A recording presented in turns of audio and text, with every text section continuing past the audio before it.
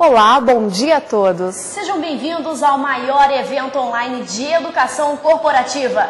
O Elane Corporativo está acontecendo em comemoração ao Dia do RH, do profissional de recursos humanos.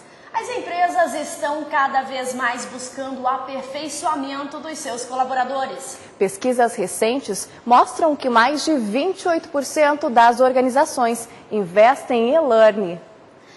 E hoje, Priscila, teremos um dia recheado de muito conhecimento e muita informação. Isso mesmo. Bom, Tarita, para quem está nos acompanhando ao vivo de todo o país, irá acompanhar palestras com temas variados, como o desafio de se tornar e se manter uma das 50 melhores empresas para se trabalhar da América Latina.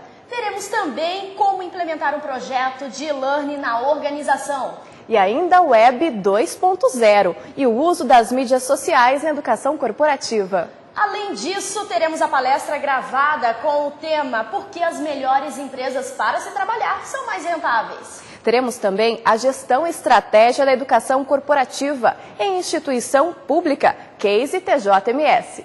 E o tema o autoconhecimento como diferencial competitivo você verá Universidade Corporativa Virtual como solução para pequenas e médias empresas. E para encerrar a programação do dia, será apresentada uma mesa redonda com o tema Desafios da Educação Corporativa.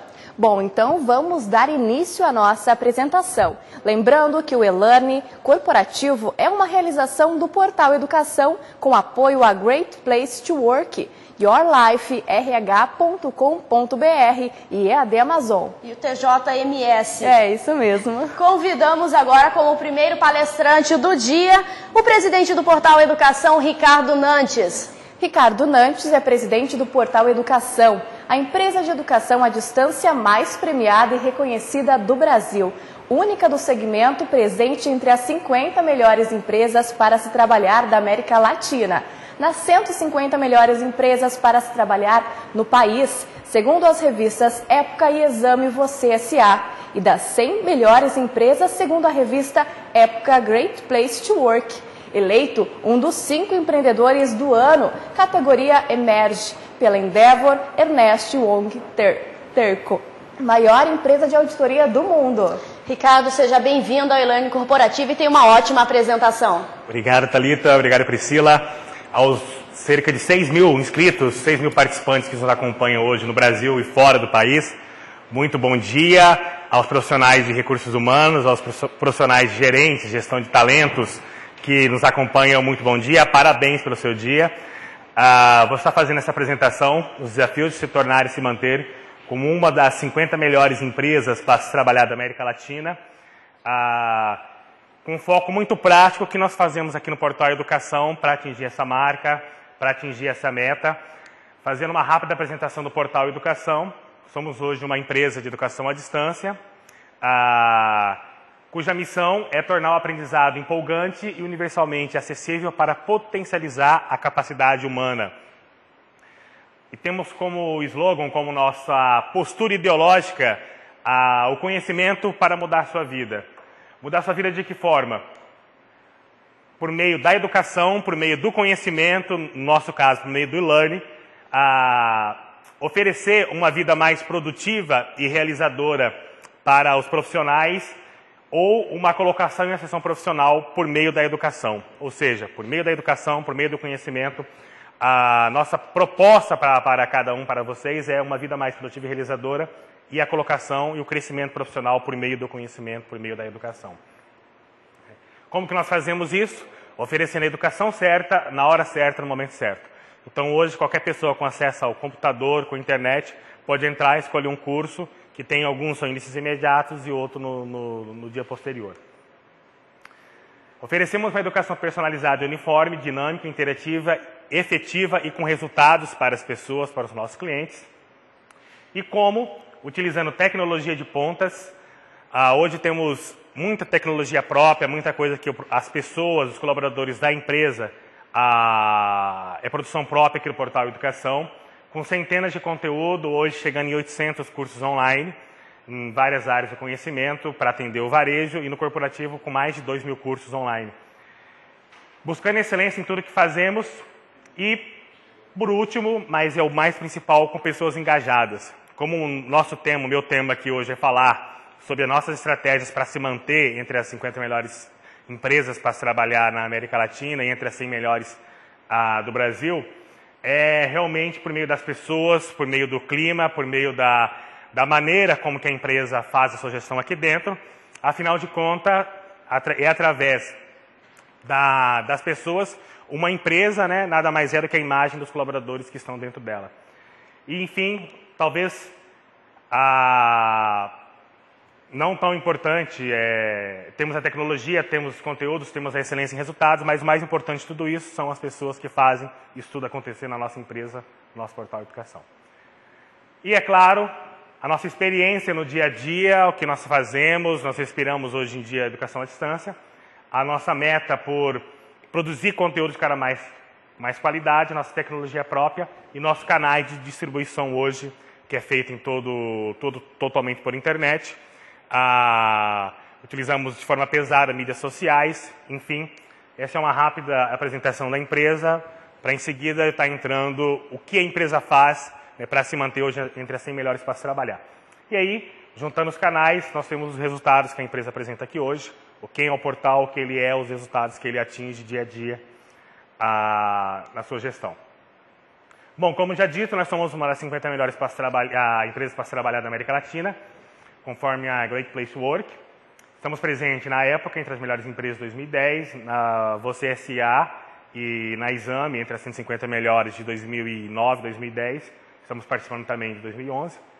Enfim, nós focamos muito nessa questão de proporcionar um ambiente bom de trabalho para encantar o nosso público interno, nossos colaboradores, para a partir daí nós buscarmos os resultados que a empresa tem atingido. Né? E como nós podemos fazer, como que nós fazemos isso, como nós trazemos esses resultados? Como o tempo é curto, tenho menos de uma hora para estar falando tudo, vamos partir para a coisa mais prática possível. Né? Que, que o portal faz para atingir esses resultados? Bom, primeira coisa, ah, para todos vocês que são de empresas, vocês devem conhecer a missão, visão e valores, algo básico que qualquer empresa deve ter. Qual é a tua missão como empresa, qual é a tua visão de futuro, qual é a tua visão, aonde você pretende chegar, quais são os seus valores. Né? Então, todos são importantes, a sua missão, o que você é, a sua visão, no nosso caso, qualificar 500 mil alunos até 2013, e nossos valores, que vai ditar as regras. Né? Então não basta só atingir resultados, vocês precisam cada vez mais estarem buscando essa qualidade, essa respeitando as regras, acreditando sempre, respeitando com ética os relacionamentos, enfim, os valores que vocês buscam como empresa, como pessoas, tem que estar bem relacionado. E uma vez falando em missão, visão e valores, quem faz tudo isso acontecer são as pessoas, são as pessoas que estão dentro do teu negócio, são as pessoas que trabalham junto contigo. E a primeira dica o primeiro conselho que eu dou é o DNA empresarial. É fundamental as empresas hoje terem no teu meio, terem no teu grupo, no teu negócio, pessoas com DNA similares ao da tua empresa. Então, identifique qual é o DNA empresarial da tua empresa e contrate, recrute, faça o recrutamento e seleção do teu negócio baseado primeiro no DNA das pessoas que têm a ver com o teu negócio.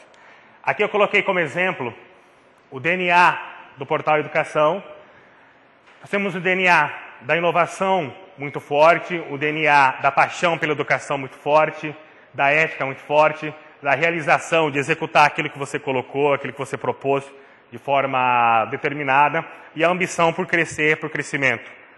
Ou seja, se o nosso DNA é esse, eu não posso, por exemplo, contratar, recrutar e selecionar alguém cuja inovação para ela ah, não seja boa ou que seja uma pessoa muito tradicional a, não é muito favorável a, a inovar sempre. Por quê? Porque em algum momento, ou a empresa ou esse colaborador vai ficar insatisfeito.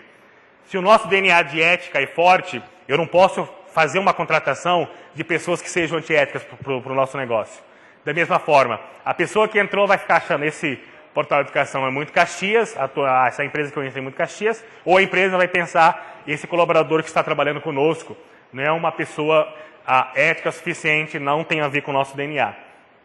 A realização, a capacidade de realizar, de executar aquilo que foi delegado. Se você contrata, se você tem pessoas Se o teu DNA, isso é muito forte, você então não pode ter pessoas que postergam muito, que não executam as coisas que estão delegadas. Então isso tem que ser levado muito a sério. Essa é a importância. Eu comecei pelo DNA, citei a missão, citei a visão, citei os valores. Uma vez definidos, vocês tenham pessoas que respeitem esses valores e que tenham a similaridade de ter um DNA igual dessa pessoa que entrou na tua empresa. Porque em algum momento, se alguma forma, de alguma forma for diferente, um dos dois lados vai ficar insatisfeito. Ou a empresa ou o colaborador que você recrutou e selecionou. Então, minha primeira dica é DNA empresarial, tenha pessoas com DNA empresarial voltado ao DNA, a, tenha pessoas com DNA que você recruta similar ao DNA empresarial do teu negócio. Segundo, isso é bem básico, né? muito básico, você produzir planejamentos, programas e políticas, porque aí você começa a colocar regras, você começa a colocar a, de que forma o teu negócio deve trabalhar. Como exemplo aqui da empresa, nós temos três planejamentos que nós utilizamos de forma constante, o planejamento estratégico, planejamento de marketing e o planejamento orçamentário. Temos 13, 14 programas agora, temos um programa específico agora só de inovação, e temos oito políticas que estão muito vinculadas com os valores da empresa, estão muito vinculadas com o DNA empresarial do nosso negócio. Então, isso é importante você delimitar as regras da, da empresa, quais são os planejamentos, aonde a empresa quer chegar, quais são os programas, como, quais são as políticas, respeitando quais regras no nosso negócio.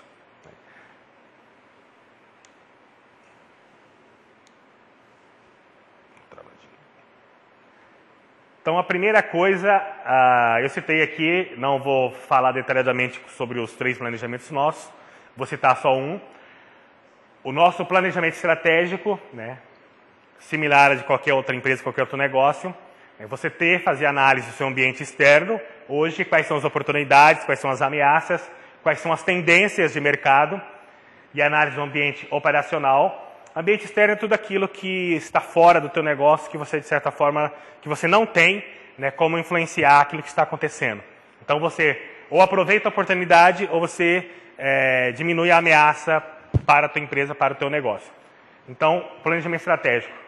Você fazer isso, analisar o ambiente externo, analisar o ambiente interno, né, quais são as forças do teu negócio e como é que você pode aumentar essas forças, e quais são as fraquezas da tua empresa e como você pode eliminar. O que isso tem a ver com se manter entre as 50 melhores empresas para se trabalhar? Se a tua empresa não tiver um norte, se a sua empresa, se a sua empresa não tiver um planejamento estratégico delimitado, onde você possa vincular esta a dizer para as pessoas quais são as regras, quais são os planejamentos da tua empresa, o teu público interno, teus colaboradores vão ficar, de certa forma, um pouco perdidos né, no negócio, não vão saber o que está acontecendo, não vão saber como que eles, para onde a empresa caminha, enfim, é necessário. Eu citei aqui um deles, por conta do tempo, mas, enfim, depois você começa a ter essas respostas estratégicas no ambiente externo. Como que você vai aproveitar uma oportunidade que está acontecendo fora, uma tendência, como você pode neutralizar, minimizar essa ameaça, no ambiente interno, como você pode potencializar aquilo que já é forte teu e como você pode eliminar a tua fraqueza. Feito isso, mostrei lá no começo, você definiu já sua missão, sua visão, seu foco, seus valores. Você fez análise do ambiente externo e análise do ambiente interno, o que é forte, o que é fraco, o que é oportunidade, o que é ameaça para você. Você define os objetivos da sua empresa. Então vê que as coisas começam a se encaixar. Uma vez definidos os objetivos, fica claro para as pessoas que trabalham no teu negócio aonde a empresa quer chegar, quais são os objetivos estratégicos de primeiro nível. Você formula as estratégias do teu negócio e aí desdobra para as suas bases, desdobra para departamentos, desdobra para suas gerências, desdobra para suas diretorias, formula planos, coloca prazos e executa isso. Como eu falei, aqui na empresa nós temos o DNA da realização muito forte, então é importante realizar, não só planejar. O que acontece muitas vezes?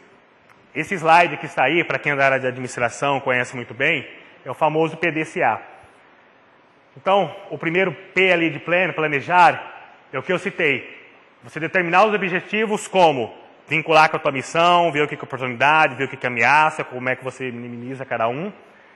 Planejar E muitas vezes a pessoa peca que fica muito tempo planejando e nada executando. Executar é muito importante. Por isso que é a, a importância de ter pessoas no teu negócio que execute no dia a dia ah, esse fato de, de ter um DNA de realização muito forte. De o que foi delegado, você ser capaz de realizar. E aí, nesse ponto de, de, de execução, é onde grande parte das empresas param. Planeja muito, executa pouco, checar, monitorar quase nada, e então e tomar ações ah, ah, corretivas uma vez monitorados, então é quase nulo. Se você realizar esse ciclo como empresa, a tua empresa, os teus colaboradores vão começar a, a ter essa cultura da disciplina, que é um dos valores, inclusive, aqui da empresa do portal. Aí está a importância desse ciclozinho. Ele é simples, ele não tem segredo nenhum. É planejar, é executar, é monitorar, porque uma vez você monitorando, você sabe como estão os indicadores de performance do seu negócio e aí você pode tomar as ações, né, que é o Azinho, o último A ali, de action. Você pode tomar as ações necessárias sobre aqueles indicadores que estão fora, que não estão padronizados com aquilo que foi estabelecido como meta para você. Se você coloca como meta vendas de tantos mil por mês, não está atingindo, você tem que tomar uma ação corretiva para verificar como é que você pode melhorar isso cada vez mais. Enfim, o famoso ciclo. E à medida que você vai fazendo isso, você cria na, no, no teu negócio uma cultura de disciplina, uma busca pela excelência, uma cultura de realização, que a pessoa vai se sentir valorizada, vai ter orgulho daquilo que ela faz no negócio dela, e aquilo vai ser, essa empresa vai ser um bom, isso vai contribuir para que a empresa seja um bom ambiente de trabalho para a, esse colaborador. Alguns de vocês que estão assistindo talvez sejam de micro, pequena empresa, de um pequeno negócio, outros querem começar alguma coisa. Ah, esse aqui é um modelozinho de como você vai desdobrar essa ação. Né? Então tem aí a medida, qual é a ação, você definiu qual é o objetivo, qual é a meta para atingir aquele objetivo, então você vai colocar um prazo, um tempo. O que é ação, quando é ação, onde vai ser essa ação, quem vai executar essa ação, é o famoso 5W 2H né, que em inglês é o que, quando, onde, quem, porquê, como. Enfim, você vai desdobrar isso. Eu coloquei aqui de forma manual por enquanto, você pode, alguns fazem de forma eletrônica, vou explicar isso depois. Mas enfim, você colocar isso. Aqui no portal nós começamos como microempresa, hoje estamos com uma empresa de médio porte, mas nós começamos mês a mês usando essa forma simples de papel. Eram poucos colaboradores na época. Então nós colocávamos essas ações, controlávamos, executávamos e no final tinha um parecer geral de como as pessoas, de como as empresas, ah, os colaboradores da nossa empresa ah, estavam em relação a cumprir as metas, de cumprir a, a, as ações, os prazos que foram delegados para eles. Então isso ajuda a contribuir, ajuda a monitorar o teu negócio. Então se você colocou uma ação, essa ação ela tem um indicador né, seja em reais, seja em meta, seja em qualitativo. E se no final ah, esse colaborador teu cumpriu essa ação, você tem que monitorar. Então, no dia a dia, mês a mês, ano a ano, você começa a criar uma cultura da disciplina, uma cultura de realização, e as pessoas sentem essa responsabilidade, né? De que eu estou contribuindo para o negócio da empresa, de que eu estou sendo valorizado, de que eu estou realizando o meu trabalho de forma bem feita. Posteriormente, obviamente, nós com o aumento de pessoas, nós instalamos a forma eletrônica. Aqui, por exemplo, isso aqui é real, tá? Aqui, por exemplo, a Soraya, uma colaboradora nossa, no mês de março de 2010, ela tinha ali uma meta no âmbito econômico financeiro, voltado ao departamento dela de marketing, que era produzir publicidade não paga, né? Produzir textos, manchetes de é, publicidade não paga, ela realizou no prazo, em verdinho ali no, no lado direito, realizou no prazo, o mês relacionado, a justificativa, o que ela publicou, e aí depois tem um gancho onde a gente consegue auditar, verificar quais foram as publicidades que ela mensurou. Então isso tudo a gente implantou posteriormente, mas hoje todos os colaboradores da empresa, eles são monitorados por meio de metas, ações, por meio de pessoas que fazem a, acontecer no dia a dia da empresa. Então, existe esse monitoramento e se de certa forma algum prazo não for cumprido, alguma meta não está sendo cumprida, a gente pode agir, né, aí vem o famoso, como eu já citei, PDCA, do action, da ação do PDCA, o que você vai fazer para corrigir, de certa forma, aquele indicador que não está ah, sendo atendido conforme o que foi estabelecido pela empresa. Gestão estratégica de pessoas, fundamental se você pretende hoje se instalar, você pretende construir a imagem do teu negócio como uma das melhores para se trabalhar, começa pela identificação de como está o clima organizacional no seu negócio. Você fazer uma pesquisa de clima hoje é muito simples, é muito fácil. Né? A, a própria Great Place to Work, ela oferece, independente do número de colaboradores, para você entrar na lista você tem que ter um corte mínimo. Né? Hoje eles mudaram um, um pouco as regras, é acima de mil pessoas você pode participar para entrar na lista. E para quem tem menos de mil pessoas, eles selecionam as 30 a melhores empresas. Mas independente do número de pessoas, a qualquer empresa com 3, 5, 10 funcionários, 20, 50, pode trabalhar da pesquisa e ter um diagnóstico.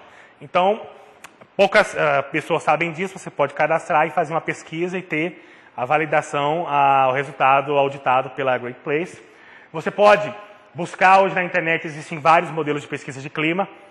Uh, no geral, todas têm dimensões e similaridades de similaridades muito próximas, eles avaliam o clima, como está a liderança, se a empresa é um bom lugar para se trabalhar, se a empresa é um bom local físico para se trabalhar, enfim. São perguntas que muitas vezes são similares umas com as outras e é importante você avaliar. Não é difícil, é simples. Se vocês procurarem aí nos, nos buscadores uma pesquisa de clima, vocês vão ver vários modelos para vocês estarem aplicando. E no final você começa a ter um diagnóstico. Hum, eu preciso melhorar nisso, preciso melhorar em certo ponto. Então é fácil, não, não, não tem nada de complicado. Qualidade de vida, né, cada vez mais as pessoas olham para o trabalho e para a vida de um modo diferente. Então, cada vez mais a pessoa passa tempo no trabalho, cada vez mais existe essa ligação. Então, qualidade de vida, você ter um programa de qualidade de vida é ser sustentável hoje.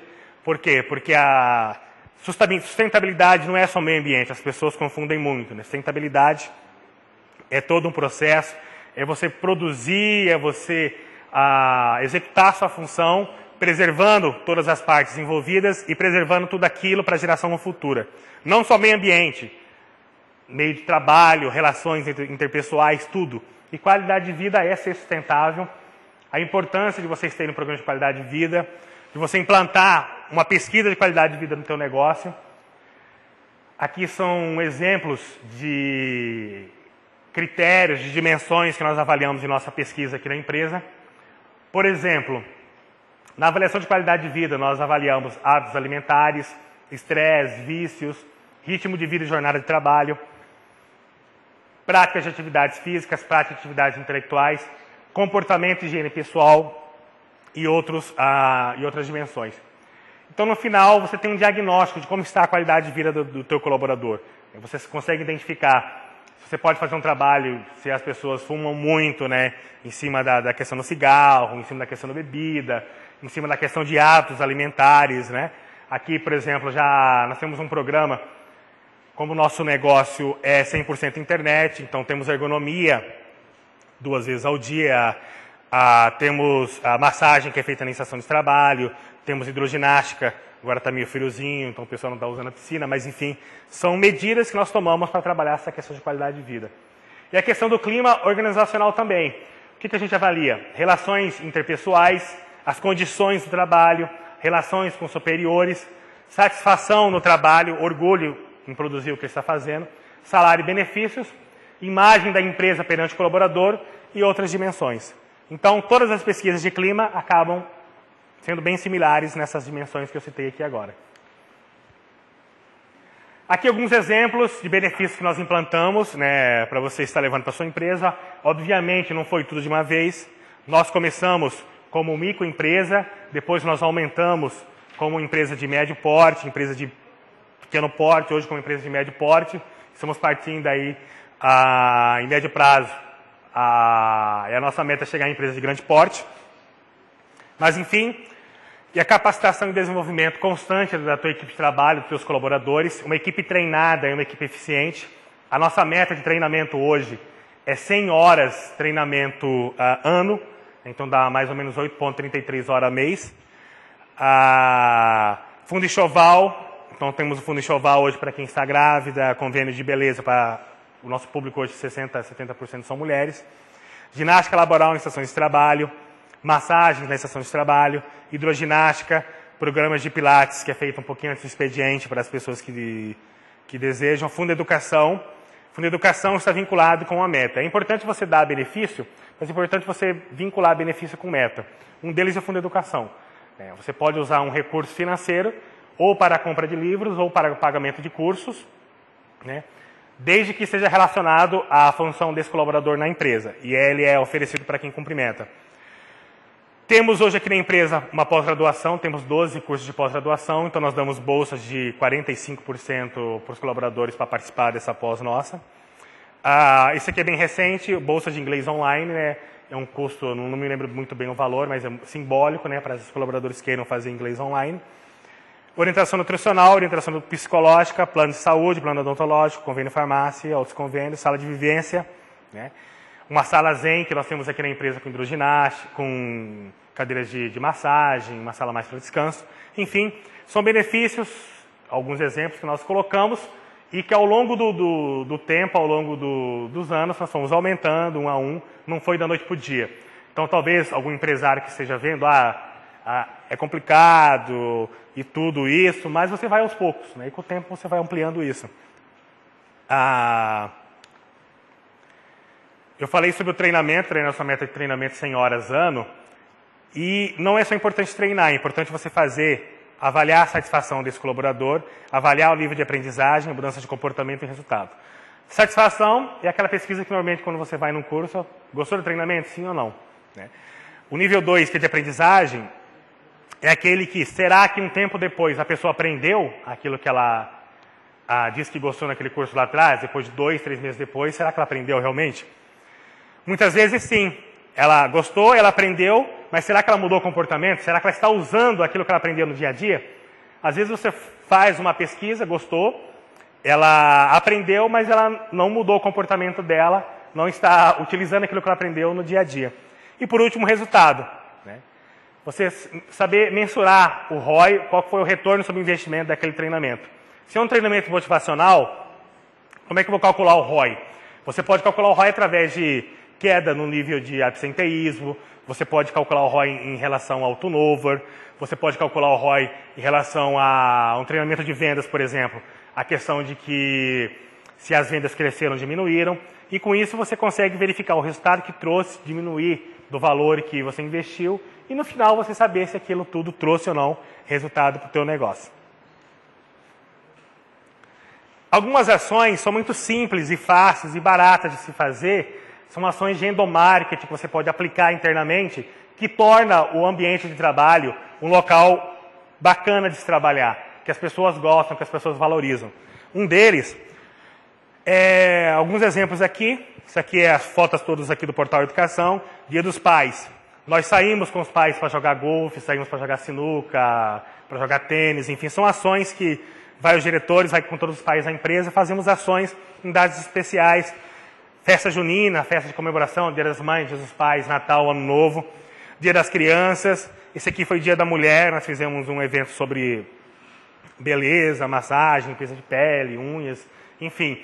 Ah, são ações que custam pouco, muitas vezes os próprios fornecedores que atendem a tua empresa, eles acabam dando isso de forma gratuita, por parceria.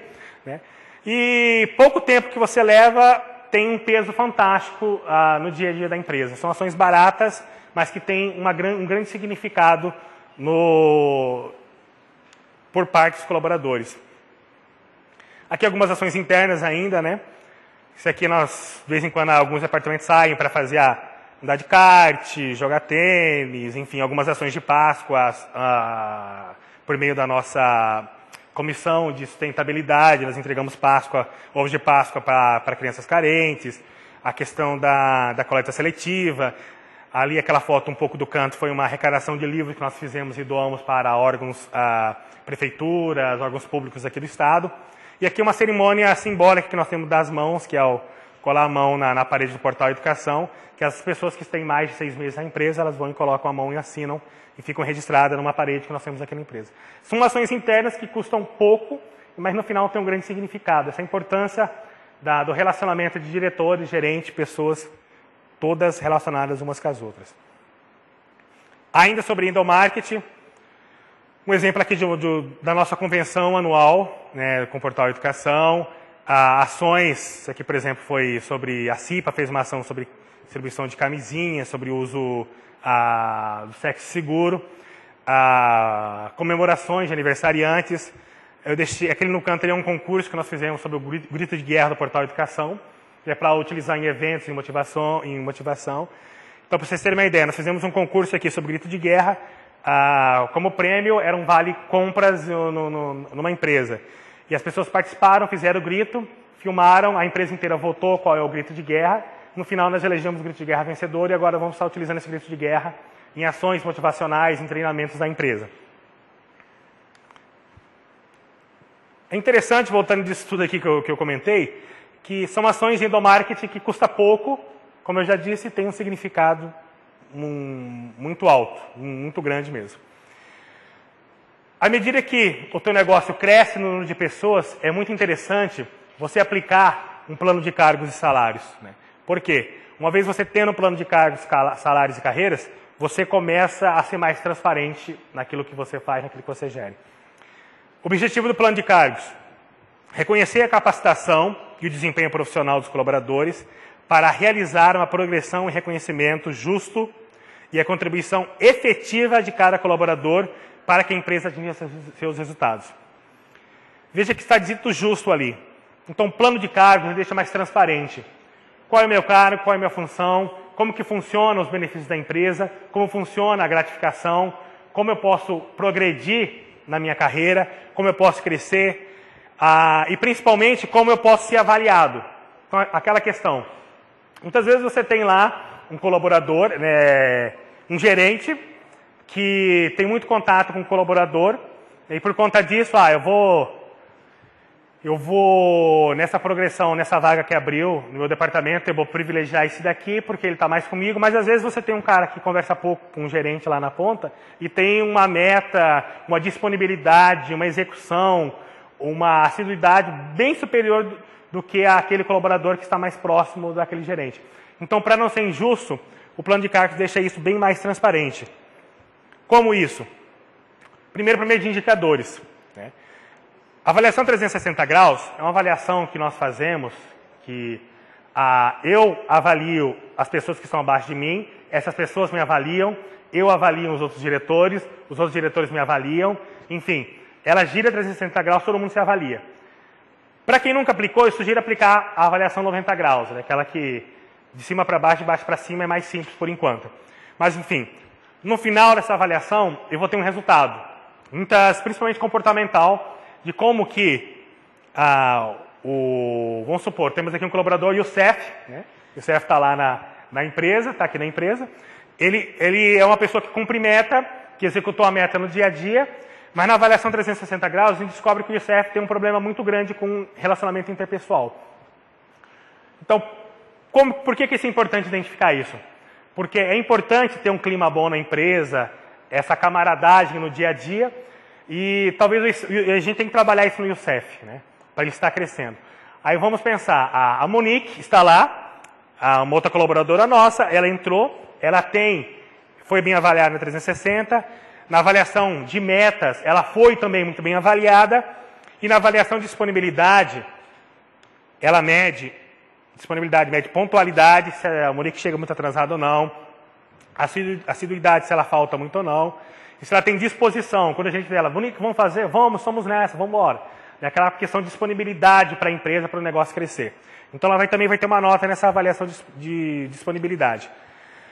E no final, através dessas três avaliações, nós temos indicadores que vai nos mensurar, olha, abrir uma vaga, uma oportunidade de crescimento a, na área a, da produção audiovisual da empresa, então eu posso verificar de todos, através da avaliação 360 graus, Como está o comportamental das pessoas, como está as metas, se eles estão cumprindo as metas que foram delegadas, isso aqui é feito mensalmente, e como está a disponibilidade de cada um desses colaboradores. No final, você consegue fazer uma progressão, uma promoção muito mais justa, como eu falei, né? Função do plano de cargos e salários, você promover de forma justa de desempenho profissional. Enfim, por meio de indicadores consistentes. Então você sabe exatamente quem está produzindo de forma coerente para o negócio e quem não está. Muito melhor do que a opinião de uma pessoa, de um diretor ou de um gerente, que muitas vezes acaba acontecendo de forma injusta. Então, através de um plano de cargos, através de indicadores, avaliações, você consegue fazer isso de forma bem mais justa, realmente, com todos eles.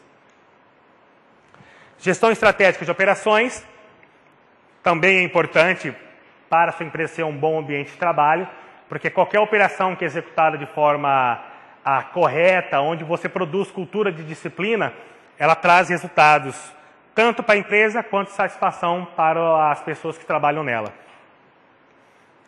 Sugestão: comece implantando o procedimento operacional padrão em todo o teu negócio.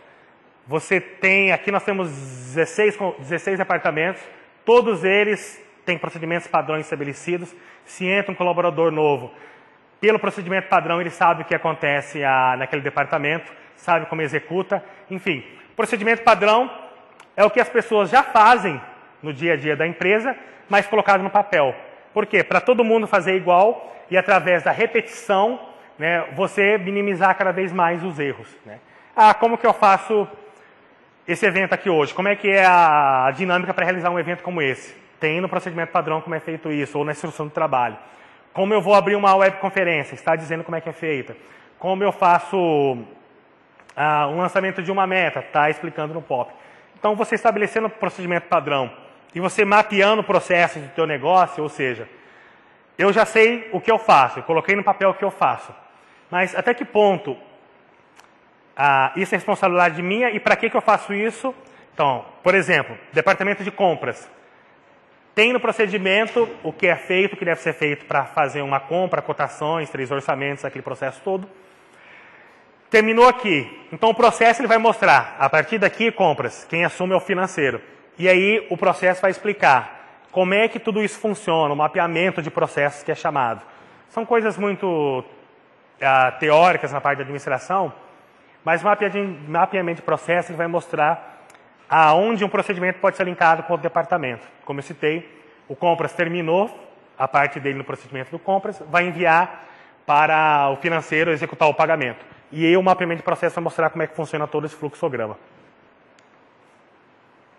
Gerenciar o desempenho da tua empresa, como eu já falei, ah, existem hoje ah, pessoas que trabalham, temos um departamento aqui que é de auditoria e ouvidoria da empresa.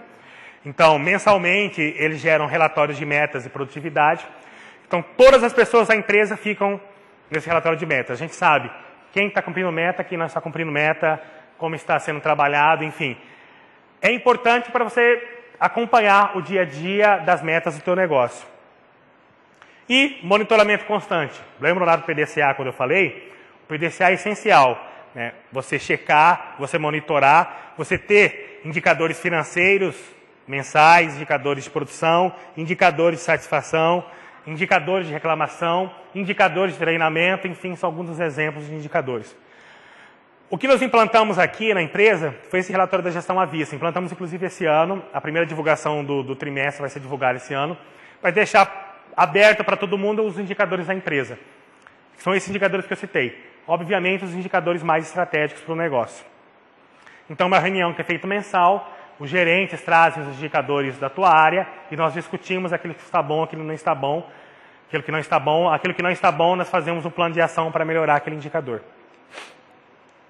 Gestão estratégica da inovação. Quem inova não são máquinas, quem inova são pessoas. Né? Então, às vezes, as pessoas confundem, né? A, a inovação, inovação, vincula inovação muito com tecnologia. Não. Você ter um clima inovador hoje na tua empresa é essencial. E hoje, inovação é uma vantagem competitiva. Talvez uma das maiores delas, uma, uma das maiores depois das pessoas. É você ter pessoas engajadas, em segundo plano eu colocaria inovação. Por quê? Porque sem pessoas engajadas você não produz inovação. Que sem um ambiente criativo você não produz inovação. A inovação gera valor, a inovação produz mais sustentabilidade para o teu negócio. Hoje a nossa inovação é aberta, nós temos um Open Innovation aqui na empresa. Aqui um exemplo, é o nosso site. Aqui no cantinho direito, vocês já devem ter visto, tem um campo sugestões. Qualquer pessoa, nós temos um campo separado para quem é interno e para quem é externo, mas qualquer pessoa que tem acesso ao site pode colocar uma ideia. Essa ideia vai para o nosso comitê de inovação, essa ideia é avaliada, as pessoas votam essas ideias aqui. Uma vez, ah, conforme o número de, de, de, de votações, é passado para o nosso comitê e o nosso comitê avalia as principais delas e implanta. Então, se vocês entrarem nisso agora, vocês vão ver lá que alguns estão em implantação, alguns estão em análise, alguns ainda não passaram por essa avaliação. Isso é público no portal, a nossa gestão da inovação. Então, é importante você ter um ambiente inovador, as pessoas gostam disso, os colaboradores gostam dessa participação toda. Ouvidoria e pós-venda tem muito a ver com ambiente bom de trabalho. Por quê? Colaboradores satisfeitos, pessoas satisfeitas no teu negócio, ela vai atender bem o teu cliente. Então você consegue, por meio da, do feedback que você tem dos, dos seus clientes, verificar se a, o atendimento está bom ou não, se não está bom, ver o que está acontecendo, se é questão de clima, enfim. O pós-venda é essencial, sem dúvida. Você gasta hoje mais dinheiro conquistando novos clientes do que mantendo os antigos. Para vocês terem uma ideia, 70% das nossas vendas hoje ocorre por meio não pago. A gente não paga nada para ocorrer 70% de vendas hoje na empresa no portal Educação. É lógico que tem todo um conhecimento por trás disso, de 10 anos de empresa, de mercado, nosso foco principal é varejo online. Mas, enfim, é coisa que a gente aprendeu e sabe que dá certo, que sabe que não dá certo hoje. E essa pós-venda, né, essa excelência pela qualidade, a gente tem mantido e tem dado um resultado satisfatório, boca a boca, enfim. Esse aqui é o nosso relatório da ouvidoria, ele é produzido mensalmente, então, ah, os clientes enviam sugestões, críticas, ele é colocado no relatório de ouvidoria. Esse relatório é discutido em reunião, em reunião de gerentes e diretores, e dali nós colocamos as ações que precisam ser melhoradas ou não. É importante monitorar, uma vez monitorado, você verifica se não é um problema de clima do teu negócio, você pode melhorar o clima da tua empresa. Então, isso faz parte no ambiente próprio de trabalho. Conhecer teu cliente tem tudo a ver, né, a, ah, parece alguma coisa meio comercial, não é. Você conhecer quem é teu cliente, para você poder oferecer, por meio das pessoas que estão satisfeitas no teu negócio, um atendimento adequado, direcionado, é essencial. Nós fazemos anualmente uma pesquisa anual de mercado. Isso aqui é um exemplo de uma tela dessa pesquisa. Nós conseguimos ah, estratificar tanto o nosso cliente que nós sabemos até faixa etária, o, que é o básico, né, faixa etária, a faixa salarial. Conseguimos estratificar tanto que nós conseguimos hoje pegar por cidade quem é nosso cliente, qual que é o perfil daquela cidade do nosso cliente. Então, isso aqui nós fazemos anualmente, né, e através dela nós fazemos ações bem direcionadas no nosso negócio. Gestão estratégica de marketing, né, saber exatamente quem é seu público, fidelização, comprar, compras e hábitos do, do teu público, dos seus clientes, e mensurar o retorno sobre a publicidade que você está aplicando. E mais um pouco, o que é hoje um excelente local para se trabalhar. Né? Isso aqui, para completar, e já estou finalizando para completar aqui a minha apresentação, é, isso aqui eu peguei da Great Place to Work. Né? Eu falei de gestão, eu falei de procedimentos, eu falei de gestão estratégica de inovação, eu falei da importância de conhecer teu cliente para você fazer medidas, a, primeiro nas pessoas que trabalham contigo para oferecer um tratamento de qualidade para o teu cliente. Mas, enfim, nada disso é possível se você não tiver líderes, se você não tiver pessoas, ah, talentos no teu negócio. Veja que eu falei líderes, não falei gerentes nem diretores, né? Ah, líderes hoje está muito além de você ter um cargo no teu negócio, na tua empresa. Você tem hoje pontos focais, você tem hoje talentos que fazem a diferença. Mas, enfim, essa fonte aqui eu, eu, eu coloquei, peguei do Great Place to Work, mas a importância de, dos seus líderes da empresa gerar credibilidade, de gerar respeito, de gerar imparcialidade no dia a dia. Então isso tudo tem a ver com a confiança e tem a ver com a liderança do negócio.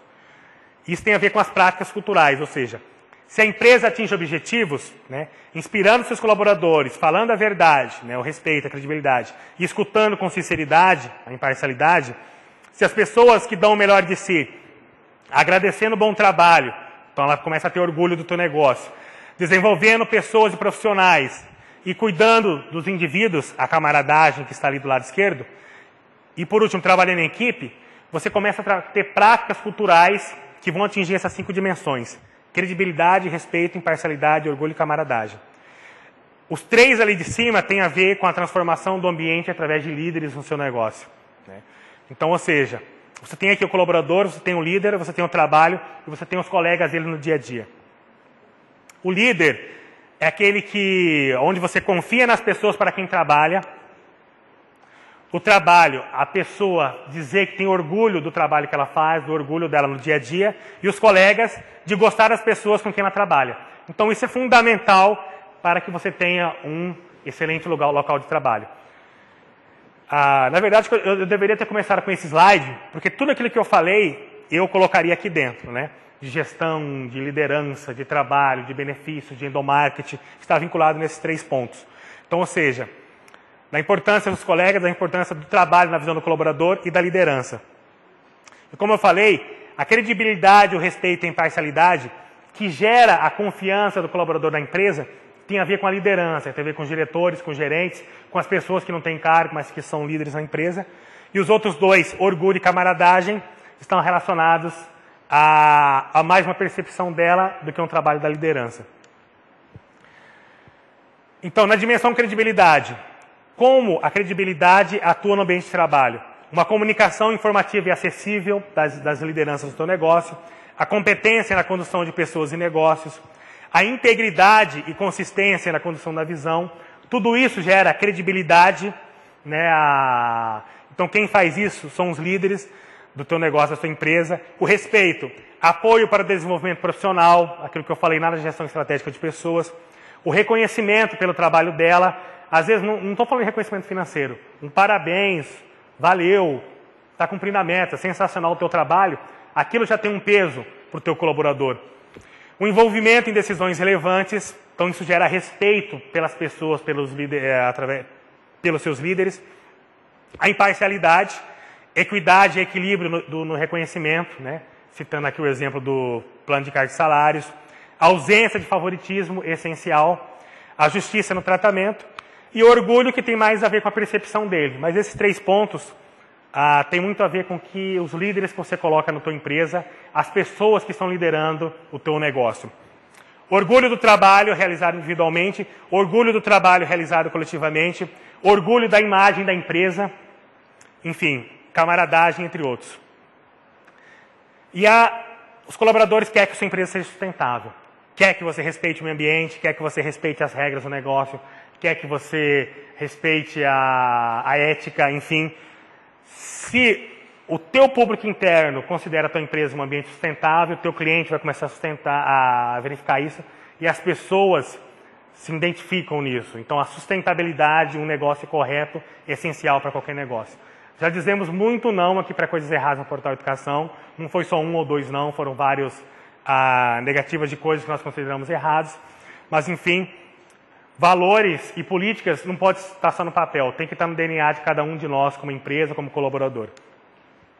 Trouxe resultados? Eu falei alguns no, no, no começo, fiz uma breve apresentação no portal, mas o fato da empresa estar hoje entre as melhores empresas para se trabalhar, o que trouxe de resultado prático para o portal? Hoje somos a maior e a empresa mais premiada do segmento de educação à distância do Brasil. Digo isso com por base, não é discurso, né? muitas vezes muitas pessoas falam isso, mas eu estou mostrando prova aqui hoje. Por quê? Somos a única empresa de educação à distância presente na revista Exame, entre as melhores empresas. Somos a terceira empresa que mais cresceu no Brasil, conforme a Exame Pequenas e Médias Empresas, em 2009. Somos a única presente na época, a única presente das 50 melhores empresas para trabalhar, certificação ISO, a prêmios de auditorias, mais de 26, 30 premiações nacionais hoje no Brasil. Então não é eu que estou dizendo isso, então nós temos bastante resultados. E tudo isso foi possível através de pessoas que trabalham aqui na, na empresa, de pessoas que geraram resultado, que sentem orgulho de trabalhar no portal e que trazem esse resultado para o portal Educação. Premiações na área de educação à distância, e-Learn Brasil, entre outros, premiações na área de sustentabilidade, e aqui alguns outros exemplos. Temos uma equipe hoje de aproximadamente 150 colaboradores cerca de 500, 700 profissionais conteudistas distribuídos em todo o Brasil, 10 anos de existência, presentes com alunos em mais de 60 países. Temos hoje mais de 30 prêmios e certificados, um índice de satisfação e fidelização na faixa de 98%, chegando a 800 cursos online. Certificamos mais de 230 mil alunos em 2010 e atendimentos feitos a, de dúvidas, atendimento no nosso call center, foram 458.527 atendimentos em 2010. Então, são alguns números da empresa que mostram ah, esse resultado de empresa rentável, empresa colaborador satisfeito, empresa rentável, sem dúvida alguma. Né? Hoje atuamos em 28 áreas do conhecimento, temos uma equipe multidisciplinar. Então, para cada uma dessas áreas, nós temos administradores, pedagogos, ah, temos profissionais é, médicos veterinários, administradores, psicólogos. Temos uma equipe que fica aqui dentro da empresa multidisciplinar.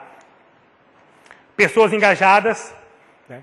Então, hoje a nossa empresa, cerca de 3 mil metros quadrados, quatro estúdios, enfim, aqui são algumas imagens da, do portal. A nossa matéria na exame, entre as 150 melhores para se trabalhar, única do segmento de educação à distância.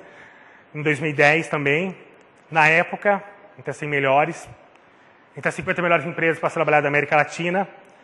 Terceiro lugar entre as empresas de médio porte que mais cresceu no Brasil. Também estamos presentes, a auditoria feita pela Exame e a Deloitte. Nossa certificação ISO. Fomos eleitos pelo público, o público elegeu o portal como empreendimento do ano em 2009 votação pública. Somos o 74º Twitter mais influente do Brasil. Né? Hoje, então, a importância, a, nós atuamos bastante em redes sociais, então hoje chegamos ao, acho que somos o número um em educação hoje no Brasil em questão de Twitter. O Twitter, o 74 de todos os Twitters, dos milhões de twitteiros que existem, nós estamos hoje na 74 de influência hoje no Brasil. Estamos presentes também na Endeavor, que são as empresas de alto crescimento, de alto impacto. A Endeavor é uma ONG mundial que seleciona em todos os países os, empreendedores de alto e as empresas de alto impacto. Fomos umas é, selecionadas pela Endeavor a, a, fazer parte desse grupo. E algumas matérias nossas e algumas revistas, Exame, Época, enfim, algumas outras. Essa é um lado de um dos nossos prédios, né? Tem outro do lado que está a continuação atrás da árvore, mas enfim, é a nossa sede. Ah, fica o convite né, para quem desejar visitar, pode estar marcando aqui com a nossa área comercial, visita na, na, nossa empresa, visita no Portal Educação. Estamos presentes hoje nas nossas em principais redes sociais ah, existentes. Isso aqui é uma frase, quero encerrar essa frase com Henry Ford. Você poderia tirar de mim as minhas fábricas, queimar os meus prédios, mas se me der o meu pessoal, eu construirei outras vezes todos os meus negócios foi dita há muito tempo atrás, né? Ele, faleceu em 47, isso deve ter dito em 1900 e pouquinhos, mas que vale até hoje, né? A importância das pessoas para construir o teu negócio. Por isso que o portal acredita muito ah, nesse dia a dia, acredita muito nas pessoas que trabalham com ele. Nós valorizamos muito nossos colaboradores, nós produzimos um ambiente bom para se relacionar, um ambiente de, ah, adequado, né, um clima legal para as pessoas trabalharem, e isso traz esses resultados que a gente mostrou aqui hoje. É para a gente um orgulho muito grande né, ser a única empresa de educação presente entre as 50 melhores empresas para trabalhar na América Latina. Nosso negócio é educação, nosso negócio não é tecnologia. Nós produzimos tecnologia, mas para servir a educação que nós fazemos né, no dia a dia. E esses são os resultados. Está aí o, o, meu Twitter na tela, para quem quiser a, estar acompanhando. Agradeço né, a participação de todos. Tem um videozinho que o pessoal vai colocar em seguida da, do Portal Educação. Enfim, obrigado. Ah, agradeço em nome da empresa os, os, apoiadores aí, o Great Place to Work, a Your Life, RH.com e a The Amazon e o Tribunal de Justiça de Mato Grosso do Sul pela participação nesse evento. Muito obrigado e acho que no final do dia a gente volta Pode enviar perguntas, dúvidas para pessoal, que no final do dia a gente volta para estar tá respondendo com. São 6 mil participantes, né? As principais dúvidas e perguntas. Muito obrigado.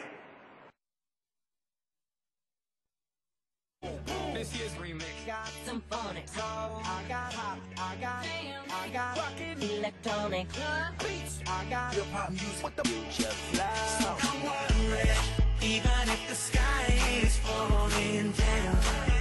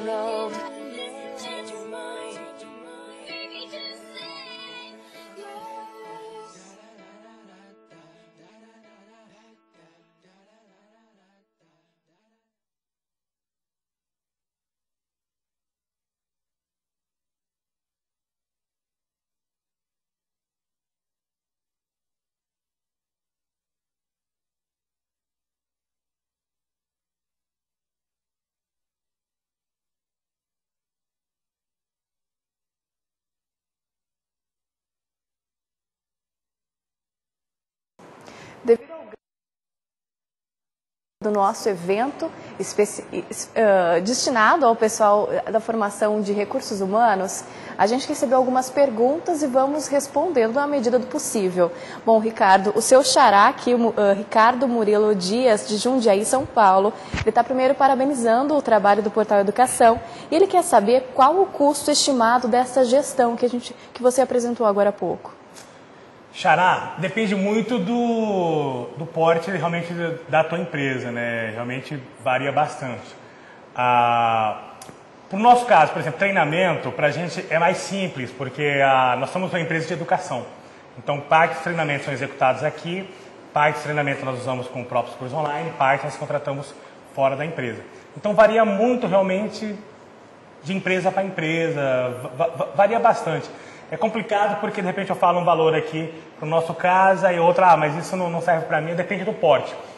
Eu colocaria, eu começaria com ações ah, com muita criatividade, onde você pode verificar o que é mais vantajoso ah, para o teu negócio primeiro. Né? Acho que não, não existe um, uma regra, existe uma estimativa. Por exemplo, ah, em, em, relação ao treinamento hoje no Brasil, é 36 horas, é a média, acho que em 2009, 2010, acho que era isso, 36, 40 horas por colaborador ano. Né? Nós usamos um pouco mais, quase o dobro de 100 horas para o nosso negócio. Varia muito conforme cada empresa.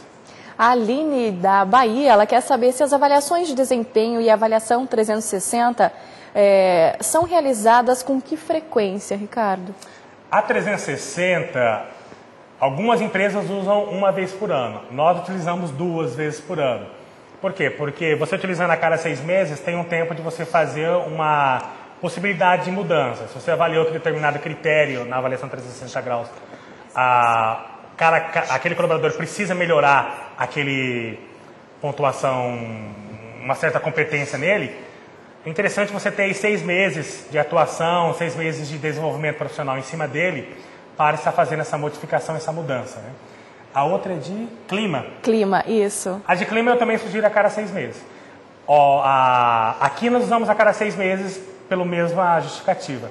Com seis meses, você consegue fazer uma atuação, uma mudança, você consegue acompanhar o clima da sua empresa de forma mais ah, periódica. Mensal, acho muito curto, bimestral também acho, trimestral, mas enfim, minha sugestão, eu usaria semestralmente.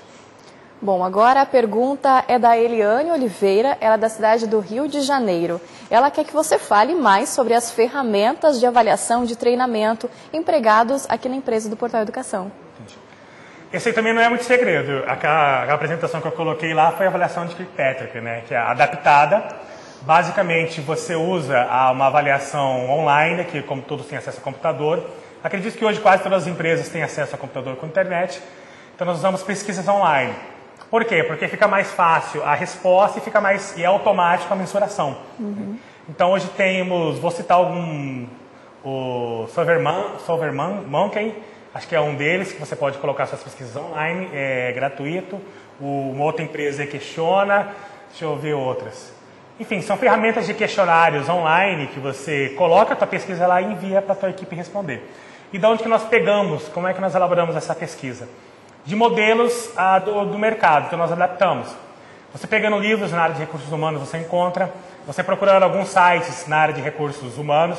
Vou citar aqui, fazer propaganda do Willis, aqui rh.com, tem formulários lá, né, William, relacionados também a, de artigos que pessoas escrevem. Enfim, você coloca, adapta algumas coisas que você uh, jogar necessário para o seu negócio e aplica e mensura. Procura avaliação de reação, avaliação de aprendizagem, avaliação de comportamento, você vai estar encontrando de maneira muito fácil tudo isso. Hoje é muito democrático. Bom, uh, Ricardo, infelizmente pelo nosso tempo aí, pela sequência nós temos várias palestras. Eu vou chamar um vídeo institucional do Portal Educação e na sequência a gente volta com a palestra do Williams Coelho. Até mais. Fiquem com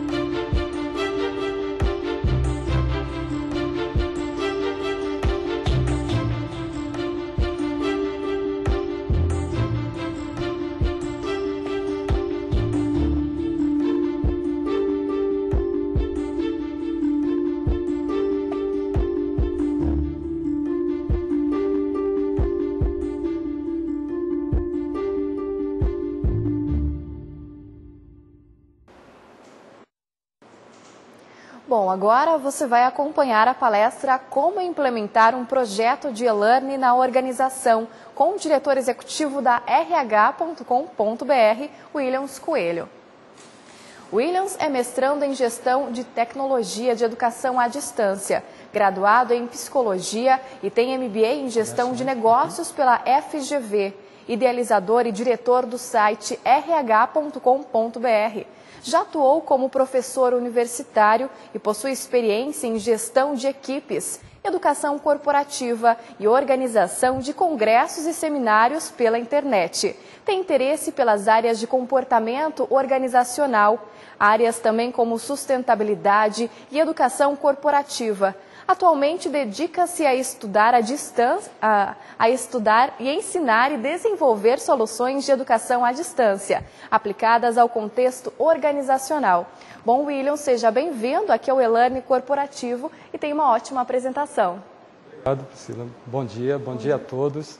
É, primeiro eu queria agradecer o convite do Portal Educação, de estar aqui conversando com vocês sobre um tema muito interessante para mim, que é a educação à distância.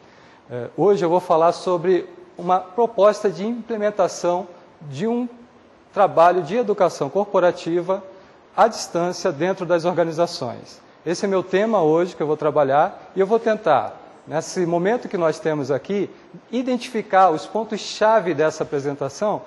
Eu vou tentar identificar quais são os pontos que a gente deve trabalhar quando a gente está desenvolvendo um projeto de e-learning na organização. É, queria começar um pouquinho falando como eu cheguei até aqui. Eu tenho formação em psicologia, sempre atuei na área de RH e mais especificamente em treinamento e desenvolvimento, que hoje a gente chama de educação corporativa. Eu comecei já há algum tempo, já há mais de 15 anos trabalhando nessa área.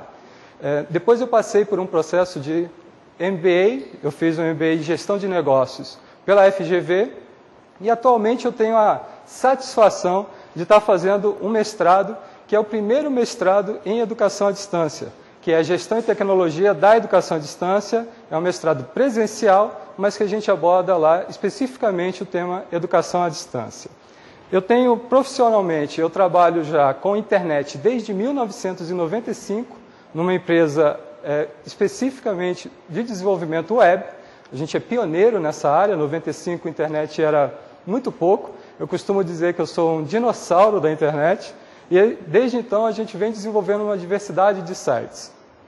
E em 99 eu tive a satisfação de juntar minhas duas trajetórias profissionais. Eu trabalhava com desenvolvimento da internet e trabalhava na área de RH. Em 1999 eu consegui juntar essas duas linhas numa perspectiva só, que foi o site rh.com.br. E desde então venho trabalhando nesse site, oferecendo informações para profissionais de RH e uma série de produtos todos eles relacionados à educação à distância. Nós temos o programa de autodesenvolvimento, um congresso, seminários, todos realizados pela internet. E é essa trajetória profissional que eu acho que me trouxe aqui até agora para falar com vocês sobre o que e sobre a forma que nós podemos trabalhar a educação à distância, o e-learning corporativo em nossas organizações. Porém, antes de começar a falar sobre é, o que é educação à distância nas organizações, eu gostaria de trabalhar um conceito de EAD. A gente tem ideia do que é educação à distância. Bem, educação à distância é eu estou aqui, vocês aí, a gente não está junto, e a gente está trabalhando uma forma de aprender, de aprendizado. Só que eu tenho essa proposta aqui do Moore, Michael Moore, que ele definiu a educação à distância de uma forma bastante interessante, porque abordou quatro aspectos que são diferenciados da educação à distância e também vai servir para o seu e-learning na sua empresa. E eu vou destacar cada um. O primeiro, educação à distância é o aprendizado planejado que ocorre normalmente em um lugar diferente do local de ensino. Então, quando a gente está falando em educação à distância, e qualquer processo de educação tem aprendizagem, tem, desculpe, o ensino e a aprendizagem. Educação é o processo que junta essas duas importantes ferramentas que nós temos como ser humano de se desenvolver. O que acontece na educação à distância é que, na forma tradicional, no presencial, o ensino e a aprendizagem ocorre simultaneamente o professor na frente do aluno. Pelo menos é essa a proposta inicial. Na educação à distância, a gente está num lugar e o aluno está em outro. É o que a gente está acontecendo agora aqui. Eu estou aqui trabalhando com vocês, tentando passar um pouco de informações para a gente gerar esse conhecimento. Eu estou buscando ensinar algo e vocês estão bastante distante de mim, tentando procurar aprender algo. Esse processo de educação à distância significa que o ensino, tudo que eu estou fazendo aqui, está distante do que você está aprendendo aí. Esse é o primeiro aspecto importante da educação à distância. O segundo é já que o ensino e a aprendizagem não acontecem no mesmo lugar, nós precisamos de técnicas especiais de criação de curso e da instrução. Quando eu estou falando aqui para vocês, eu procurei montar essa apresentação de forma que eu não teria interação ao vivo, momentânea, eu não posso colocar perguntas, eu não posso ter interação com vocês imediata, então eu tive que preparar uma apresentação de forma que vocês pudessem acompanhar todo o desenrolar da aprendizagem sem a necessidade de haver uma interação imediata. Porém, ela não pode ser tediosa. Eu não posso ficar aqui falando o tempo todo e de uma forma que talvez os slides nem nos ajudaria. Então eu tive que procurar formas diferenciadas de desenvolver essa apresentação. Isso acontece em todo o processo de educação à distância. A todo momento a gente tem que pensar que quem é que está do outro lado? De que forma ele vai absorver essa informação para gerar esse aprendizado? Então, eu preciso de técnicas especiais de criação do curso.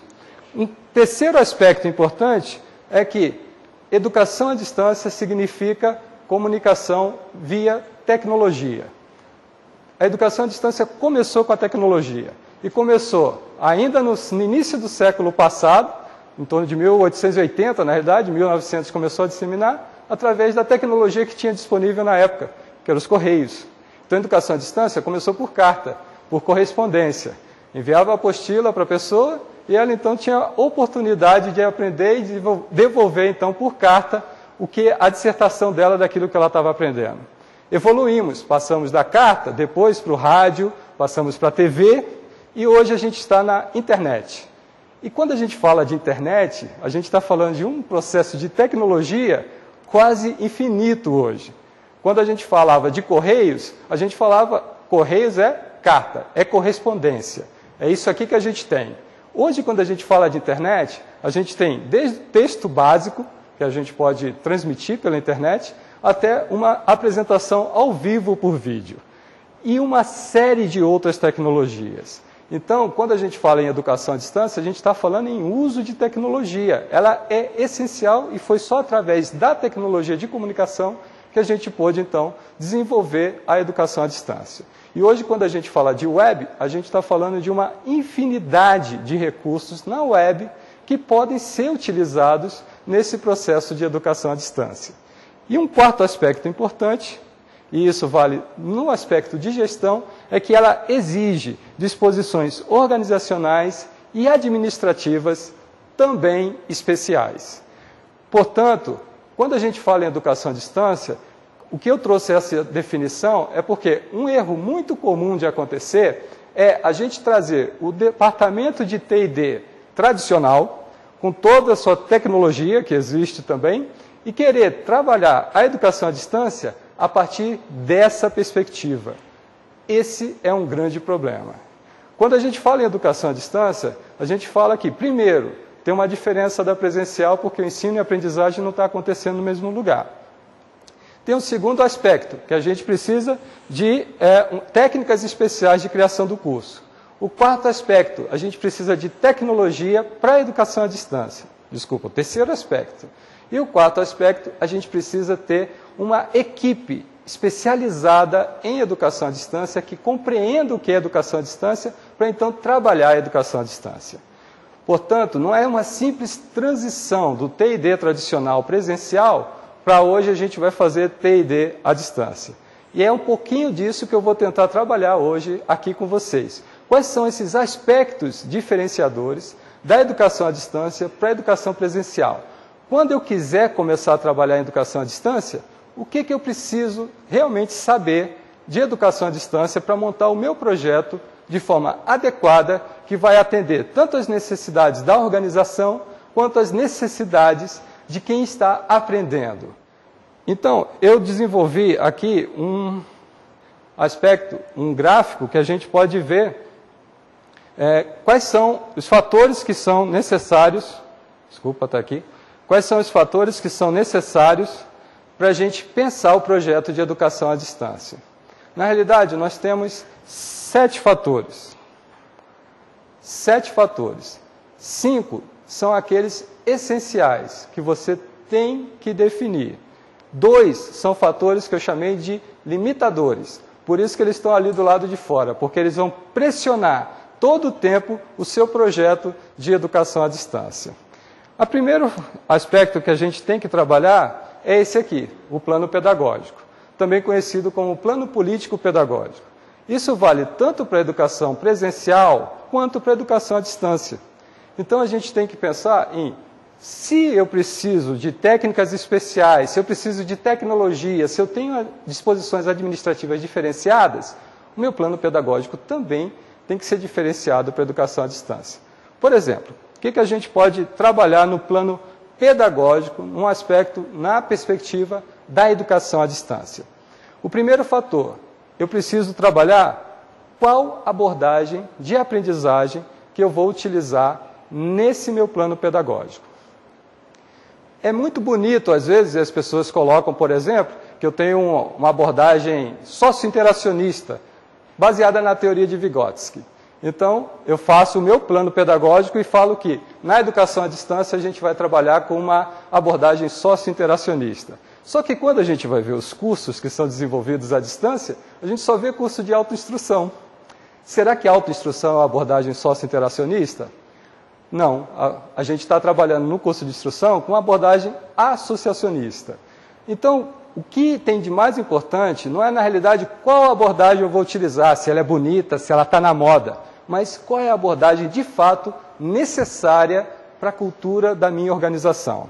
Qual é a abordagem que vai funcionar determinado momento de um, de um processo associacionista, qual que vai precisar de um processo socio-interacionista.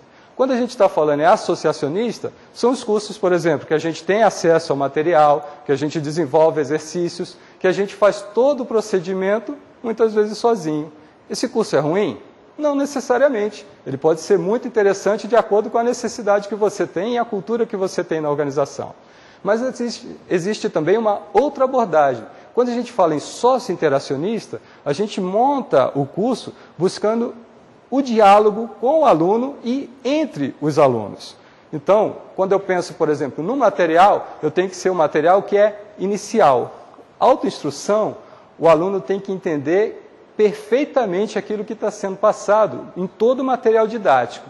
Numa abordagem sócio-interacionista, eu lanço materiais que eles vão estimular a pesquisa e a procura e o debate entre as pessoas para encontrar as soluções que a gente precisa na organização. O que, que pode ser um ou outro? Vou exemplificar. Se a gente tem uma abordagem, por exemplo, de procedimentos, e aqueles procedimentos eles têm que ser seguidos à risca, eu posso trabalhar numa abordagem associacionista. No entanto, se eu estou querendo desenvolver, por exemplo, a capacidade da pessoa de tomada de decisão, de criatividade, talvez um objeto de autoinstrução não vá funcionar. A gente precisa aí de uma abordagem que as pessoas possam trocar, que elas possam compreender de fato aquilo que está sendo passado. Então, pensar numa abordagem pedagógica é pensar na cultura da organização, pensar quais são os meus interesses com a educação à distância e então definir, eventualmente, até abordagens distintas para cursos distintos, para públicos diferenciados. Então eu tenho que pensar na abordagem sempre pensando nas pessoas. Quem é que eu quero atingir? Então, mais do que colocar, por exemplo, uma abordagem bonita, interessante, atual, é pensar em meu público. No meu público que eu tenho aqui de cultura, o que, que eu posso trabalhar então? Um segundo aspecto importante é o planejamento estratégico. A ED tem que ter visão, missão e valores. O que, que eu quero com a educação à distância? Qual é o nosso objetivo aqui? Onde eu quero chegar? De que forma eu quero chegar? Então você tem que pensar em que maneiras, de que formas eu vou atingir esse meu objetivo estratégico. O planejamento estratégico, no meu plano político-pedagógico, é essencial para compreender aquilo que eu quero fazer. Outra forma, outro aspecto importante de implementar no seu plano político-pedagógico e que você tem que pensar é quais são as entradas. Como vai chegar aqui a minha solicitação de curso? Ora, é muito comum, às vezes, chegar na empresa várias solicitações de vários lugares. Isso pode acontecer? Pode. Mas algumas empresas adotam já há muito tempo o levantamento de necessidades de treinamento e procura definir que todos os cursos só serão executados se houver antes um levantamento de necessidade de treinamento. Esse é o modelo tradicional. Hoje, existem outras ferramentas que podem ser utilizadas. Uma delas, por exemplo, é a gestão por competências. Então, se eu tenho um processo de avaliação de competências, eu posso identificar quais são as necessidades de treinamento a partir dos gaps, aquilo que eu preciso de competência para aquela função e aquilo que está sendo avaliado naquela pessoa, e então desenvolver os cursos a partir dessa avaliação por competências e não mais só da necessidade de treinamento. Isso pode ser feito, por exemplo, com avaliação de desempenho, com foco em competências, ou mesmo ter até um plano de carreira por é, competências. Ou seja, eu não só identifico quais são os gaps, mas também tento planejar o que, que ele vai pensar no futuro. O que, que eu preciso lá na frente dessas pessoas. E uma forma de fazer isso, e muito interessante, são as trilhas de desenvolvimento. Ou seja, eu tenho trilhas na minha empresa que eu posso mostrar para o funcionário que, se você está aqui e quer chegar nesse cargo no futuro, daqui a cinco anos que seja, você tem que desenvolver tais competências. E todas essas competências têm no nosso EAD cursos específicos para você fazer e você então está apto a se candidatar um cargo acima do que você está hoje. Então, quando eu tenho mapeamento de competências e quando eu tenho mapeamento de cargos na empresa, eu consigo definir quais são as competências. Essa é uma das melhores abordagens que tem quando eu defino as entradas de quais os cursos que eu vou desenvolver. Eu tenho uma visão global da empresa, eu posso identificar, inclusive, quais são esses treinamentos que precisam ser especificamente presenciais, quais podem ser totalmente à distância e quais podem usar as duas tecnologias, que a gente pode começar presencial, trabalhar à distância e depois voltar para o presencial ou qualquer outra forma aí que a gente possa utilizar. Então, as trilhas de desenvolvimento podem me dar um mapa geral de como eu posso desenvolver os cursos na minha organização. Então, o plano político-pedagógico tem que ter definido esses aspectos. Por exemplo, qual é a abordagem que a gente vai usar, o nosso planejamento estratégico e, principalmente, como a gente vai desenvolver. Eles vão ser obrigados a fazer esses cursos? Ou será que a gente pode colocar, por exemplo, as trilhas e os funcionários escolherem quais são os cursos que ele quer desenvolver a partir do seu plano de carreira pessoal? Todos esses aspectos têm que ser levantados ainda durante o seu planejamento nesse plano político-pedagógico. Um outro fator que a gente precisa trabalhar nesse conjunto é a equipe. Quando eu estou falando em educação à distância, eu estou falando na necessidade de pessoas especializadas na área. Então, quando eu falo em educação à distância, a equipe é um aspecto essencial. Existem vários modelos de equipe, mas aqui eu trouxe um, que é do Fernando, que ele dividiu as áreas em produção e administração e colocou alguns cargos essenciais para um processo de educação à distância. Certamente, o primeiro fator que a gente vê aqui é, se a gente tem vários cargos, a gente precisa de um gestor. Então, essa equipe tem que ter um gestor e um gestor da EAD. Quão grande vai ser essa equipe depende da abordagem que você está trabalhando na sua organização. Organizações grandes e que têm um plano de educação à distância hoje muito é, efetivo, tem vários profissionais alocados em cada um desses cargos e muitos outros. Eventualmente, a empresa pode optar pela terceirização total da EAD. Porém, mesmo com a terceirização, há necessidade de ter um gestor interno, possivelmente junto de pelo menos um analista em EAD, que vai identificar quais são os melhores fornecedores, vai acompanhar esses treinamentos e vai então poder identificar dentro da empresa como isso está sendo desenvolvido. Numa equipe básica, e eu vou tentar de, definir aqui rapidamente qual é o papel de cada um da equipe, a gente tem essas oito funções. A primeira é, eu preciso, num processo de produção, ter um instrutor ou especialista no assunto. É aquele que às vezes é chamado de conteudista. É quem vai trazer os conteúdos para o meu curso. Então ele vai montar quais são, qual é o programa, quais são as, os conteúdos e quais são as teorias, quais são as práticas que a gente precisa naquele curso. Uma vez tendo esse especialista definido o conteúdo do curso, escrito esse conteúdo, ter desenvolvido até algumas outras possibilidades de trabalho, esse material passa para um, uma outra função que é a do designer instrucional, hoje também conhecido como desenho educacional. Então é esse desenhista educacional ou designer instrucional que vai definir sobre aquele conteúdo, que tem uma série de informações, como cada parte daquele conteúdo pode ser distribuído e então repassado para as pessoas usando essas técnicas especiais de educação à distância. Então, por exemplo, essa parte aqui eu vou trabalhar com texto, essa parte aqui eu vou fazer uma animação. Poxa, isso aqui é legal, a gente pode desenvolver um quadrinho, por exemplo. Ah, essa aqui eu acho que é interessante a gente gravar um vídeo.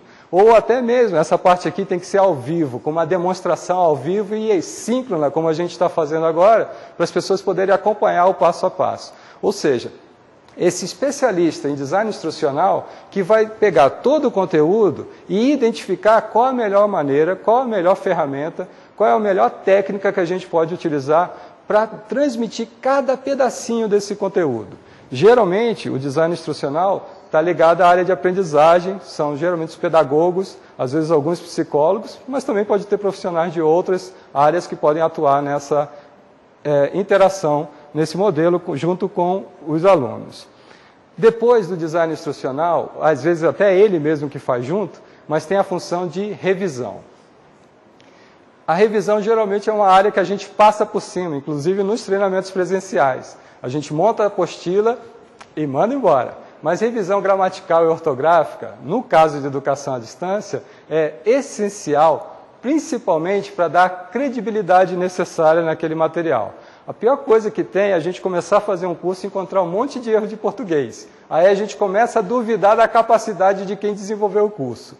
Então, pensar numa possibilidade de ter um revisor ou ter alguém que assuma essa função, ou mesmo terceirizar essa função na empresa, é essencial para a credibilidade do seu curso.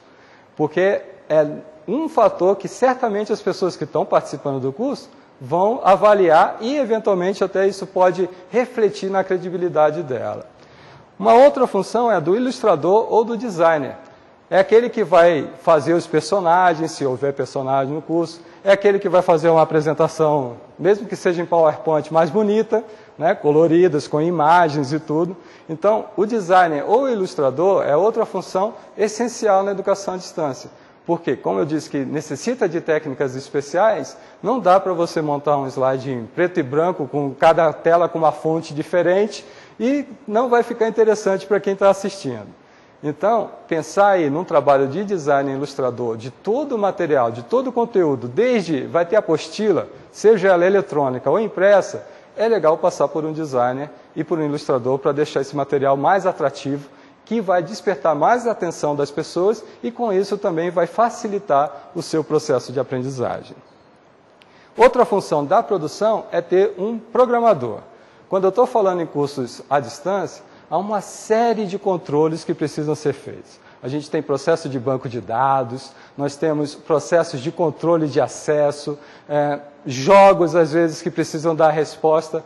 Então há necessidade de vários tipos de programadores, desde programadores de Flash ou programadores de linguagem de programação, de banco de dados e até mesmo do próprio LMS. A gente vai precisar de programadores que cumpram essa função de deixar o ambiente de forma utilizável da melhor maneira.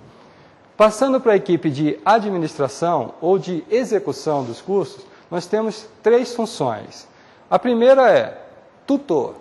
Quem é o tutor? O tutor muitas vezes é até o próprio conteudista, o especialista que desenvolveu o material. Porém, ele precisa ter conhecimento em práticas de educação à distância, porque ele precisa estimular o debate quando a gente está trabalhando na tutoria. Tutoria é mais do que responder perguntas, é estimular o desenvolvimento muitas vezes. Então a gente não pode pensar no tutor apenas como aquele que vai tirar dúvida do conteúdo. Mas a gente tem que pensar no tutor como aquele que vai estimular a aprendizagem, mais do que tirar dúvidas. Então, quando um tutor, por exemplo, coloca uma pergunta no fórum, ele tem que avaliar se aquela pergunta vai ser do tipo sim ou não. Se for sim ou não, um respondeu sim e sim é certo, o fórum acabou. Não tem discussão, não tem forma de desenvolver. Quando o tutor quer desenvolver nessas pessoas, ele bota uma questão que a pessoa tem que pesquisar e aquela resposta não é simples ela pode ser diversificada. Ele procura estimular as diversas visões dos alunos para que juntos eles possam compartilhar alguns ensinamentos e então compreender de uma forma mais ampla aquele fenômeno que está sendo trabalhado. Então, o papel do tutor é essencial para esse crescimento, para estimular a aprendizagem das pessoas, tão importante quanto o próprio conteúdo em si. Uma outra função que a gente tem é de monitor. O que é o monitor? O monitor é aquela pessoa que vai acompanhar se as pessoas estão entrando no ambiente, se todos que estavam inscritos no curso já estão participando, se ele está participando no ritmo correto, se ele não está atrasado ou se ele está querendo ficar adiantado demais e, olha, isso aqui você precisa elaborar com mais tempo, não dá para fazer tudo de um dia só. Né? Então, quantas horas você vai identificar aí que é necessário para aquele aprendizado? O monitor também pode auxiliar nas tarefas e até mesmo acompanhar se as avaliações estão sendo feitas, se os trabalhos estão sendo entregues e se no final a gente teve então a conclusão daquele curso e o aproveitamento do aluno naquele curso. Até porque na educação à distância, ao contrário da presencial, isso é às vezes até um problema da presencial, a gente acredita que na presencial, se o aluno esteve no curso, ele aprendeu. Então, ele esteve no curso, participou do curso de um dia, dois dias, ele recebe o certificado, sem ter uma avaliação de aprendizagem. Porém, na educação à distância, até para a gente gerar mais credibilidade, geralmente a gente utiliza uma avaliação de conteúdo. Não dá para simplesmente, ah, ele entrou e saiu, ok, está acreditado o seu certificado. Mas na educação à distância, a avaliação de conteúdo é essencial para a gente verificar se realmente aquela participação foi efetiva. E isso, muitas vezes, é o papel do monitor acompanhar se ele teve aprovação, se não teve, e quais são os procedimentos que podem ser utilizados. E, por último, porém não menos importante, é a função de help desk. Por que help desk? A gente está falando em tecnologia. Nossa, Existem as mais, as mais, interessantes dúvidas quando as pessoas estão no LMS, no ambiente de aprendizagem virtual. Então a gente precisa dedicar uma pessoa, que ela não pode ser, não precisa necessariamente ser dedicada a isso, mas a gente tem que identificar na organização quem vai ficar responsável por tirar as dúvidas. Às vezes pode ser uma coisa simples, um documento em PDF que ele não consegue abrir, porque ele não tem um leitor de PDF no computador dele. Então ele precisa lá ter alguém que vai ensinar ele de onde baixar, como instalar e quais são as necessidades que ele vai precisar, que ele terá nesse ambiente, para então orientá-lo a forma que ele vai poder fazer para ter todos os recursos tecnológicos. Então, a gente precisa identificar na organização quem vai atender os telefonemas, quem vai atender o e-mail ou até por chat das dúvidas básicas de tecnologia. Todas essas funções precisam de uma pessoa para cada uma? Depende. Se a sua organização for muito grande, vão ter várias pessoas para cada uma dessas funções. Porém, há outras possibilidades, como, por exemplo, a terceirização de parte dessas funções. Muitas vezes, até dentro da organização, essas funções não estão dentro da ED. Por exemplo, o helpdesk pode ser alguém da área de TI, que não é nem dedicado a isso totalmente, mas sabe que é ele que, quando tiver necessidade, é ele que vai responder a essas informações. Então, pensar nesse modelo depende muito de qual é o seu objetivo, qual é a sua cultura na empresa e quais são as necessidades que nós temos. Porém, todas essas funções sempre estarão presentes num projeto de educação à distância. É essa, dessa maneira que a gente identifica se vai ser uma pessoa exclusiva ou várias para cada uma dessas funções, se vai ser terceirizado ou não, você pode definir no seu projeto. Um outro aspecto importante, já falamos do plano pedagógico e da equipe, é o conteúdo. E o que, que eu estou dizendo sobre conteúdo? Ora, qualquer processo de aprendizagem, seja ele presencial à distância, a gente precisa de conteúdo. Porém, na educação à distância, a gente tem que pensar, também como existe na presencial, quem é que vai fazer esse conteúdo, principalmente se ele está preparado para desenvolver esse conteúdo. Esse conteúdo pode ter produção interna ou externa. Pode ser que determinados conteúdos você fala assim, eu tenho especialistas dentro da organização que podem preparar o material que a gente precisa para desenvolver esse curso. Ou então vou ter que buscar fora mesmo, bastante similar ao processo de educação presencial. Agora, seja interno ou externo, quando você faz dentro da sua organização o presencial, você precisa contratar o instrutor. E esse processo de contratação na educação à distância é um pouquinho diferenciado. Por quê? Quando eu estou, por exemplo, contratando um instrutor, ele está presencial, as horas dele são contadas pelo tempo que ele teve em sala de aula. Então, se eu tenho, por exemplo, um curso para dar de um dia, são oito horas que eu estou contratando ele. Se eu tenho esse curso para 100 turmas, são 100 vezes oito horas. Só que em educação à distância, eu tenho oito horas de conteúdo. Mas quantas vezes esse conteúdo vai ser utilizado? Por quantos anos esse conteúdo vai ser utilizado? Então há um aspecto legal aí que eu tenho que pensar nessa contratação do conteudista, de identificar já nessa contratação de que, de que aquele material pode ser utilizado para várias turmas por vários anos. Esse é um diferencial da educação presencial para a educação à distância. Uma outra possibilidade é fazer a aquisição de cursos prontos, os cursos de prateleira que chamam. Então eu posso pensar de, ah, ok, eu não quero desenvolver internamente, nem quero contratar conteúdos, conteudistas externamente para desenvolver esse curso. Por quê? Porque é um curso comum e que tem vários fornecedores que podem oferecer esse curso de uma maneira muito melhor do que se eu fosse desenvolver até personalizado. Então, eu tenho a possibilidade de contratação desses cursos com diversos fornecedores. Um deles é o Portal Educação, que a gente está aqui. Já aproveito já para fazer o merchandising aí do pessoal. É, Outro aspecto importante é quem é que vai avaliar o conteúdo. Eu tenho que ter na minha equipe, então, um gestor que vai receber esses conteúdos e vai avaliar: será que está adequado dessa forma para a educação à distância? A linguagem é adequada? Ela está muito formal ou ela está numa linguagem dialógica que a gente estimula a pessoa a procurar novas informações? Outra forma é como eu posso distribuir esse conteúdo em toda a minha grade. E um outro aspecto é será que a melhor solução não é um curso misto? Então, quando eu estou falando em conteúdo, há diversos aspectos que eu preciso pensar e planejar no meu curso de EAD antes de iniciar a implantação. Um outro ponto de planejamento, a gente já falou do plano pedagógico equipe e conteúdo, e sem tecnologia não há educação à distância, é o que a gente tem que verificar de tecnologia.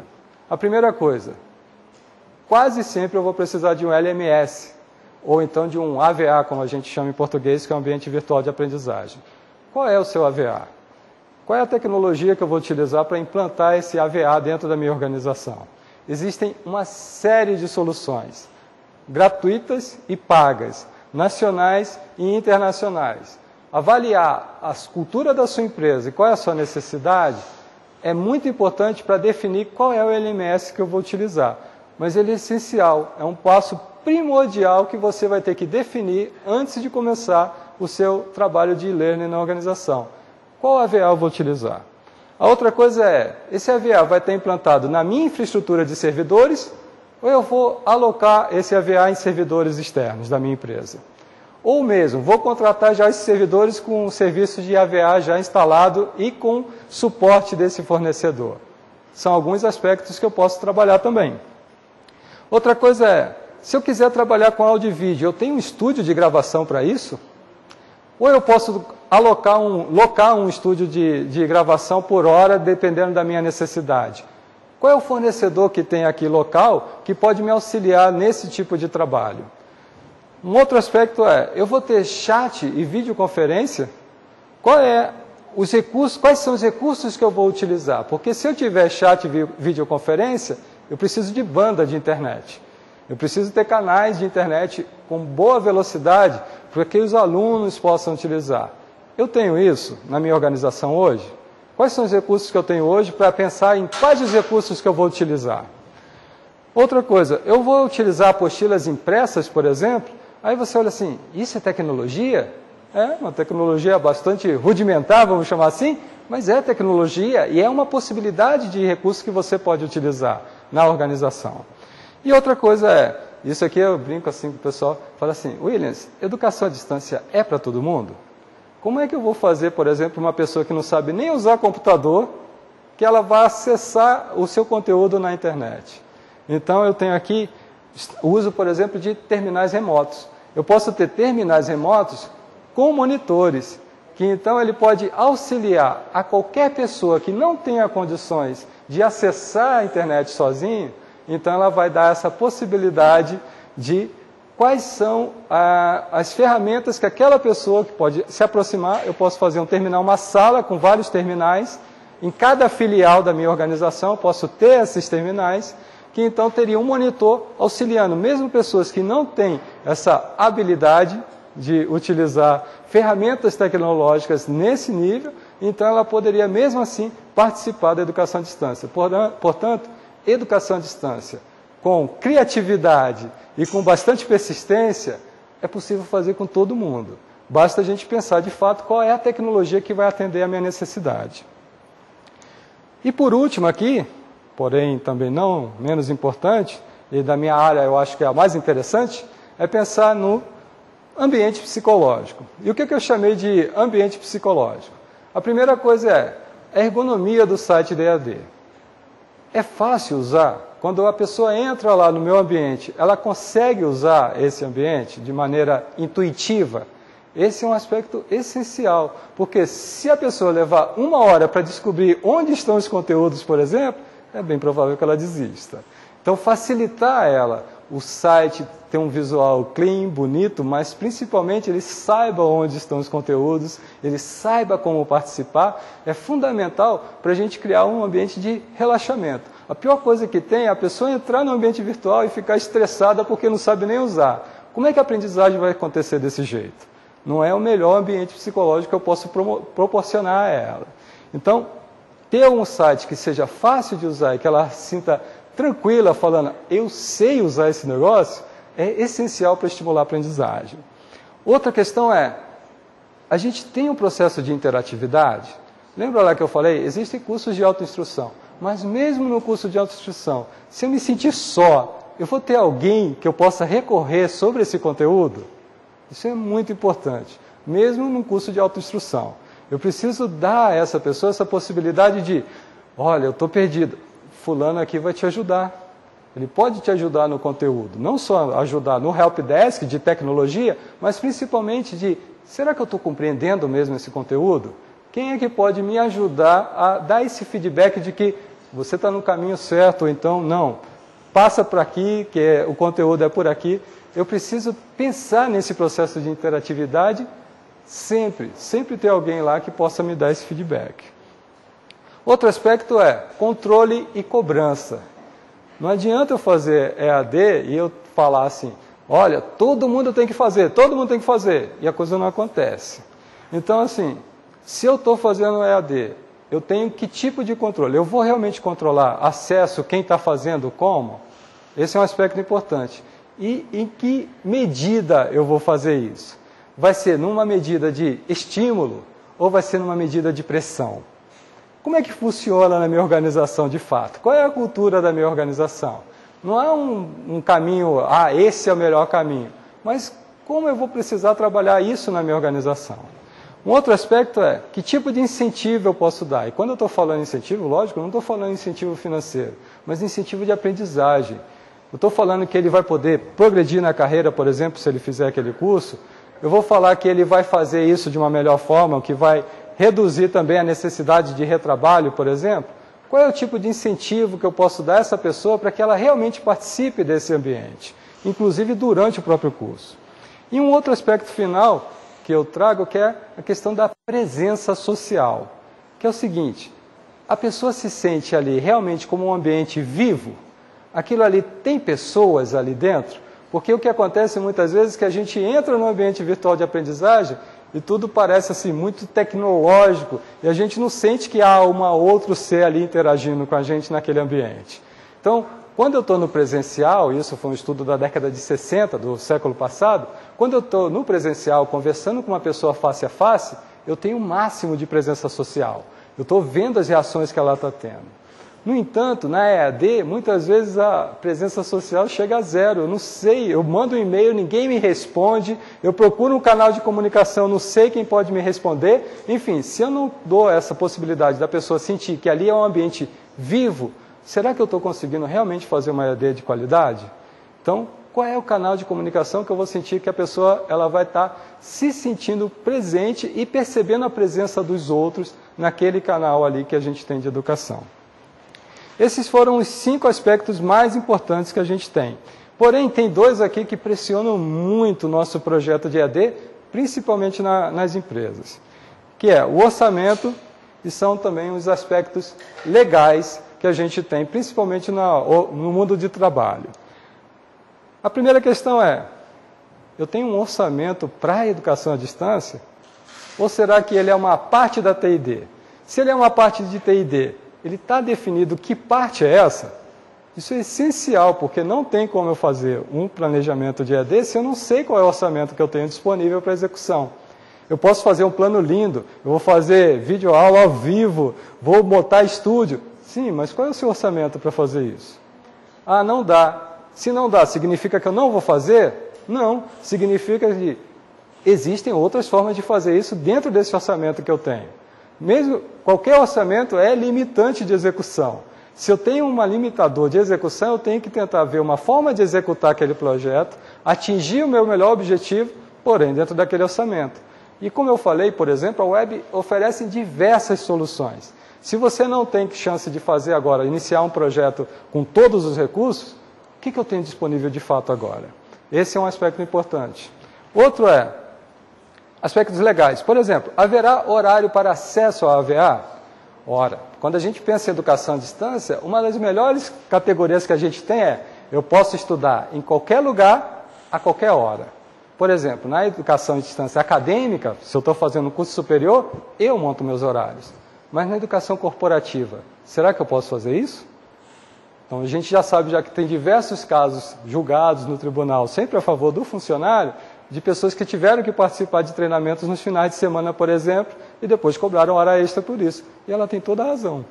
Se o treinamento é obrigatório, então ele tem que fazer no horário de trabalho, porque se ele não fizer no horário de trabalho, ele vai poder receber hora extra por aquele trabalho, ele está aprendendo algo para o trabalho dele, fora do horário regular.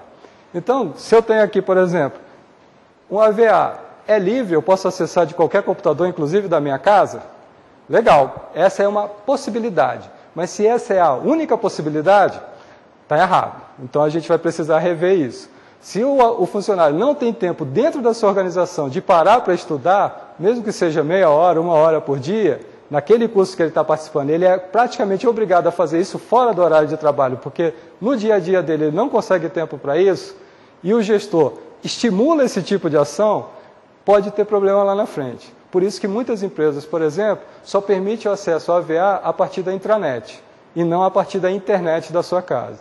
Então, só estando no trabalho, no horário determinado, é que ele poderia acessar o ambiente virtual de aprendizagem. Esse é um aspecto legal importante que você tem que refletir sobre a cultura da sua empresa.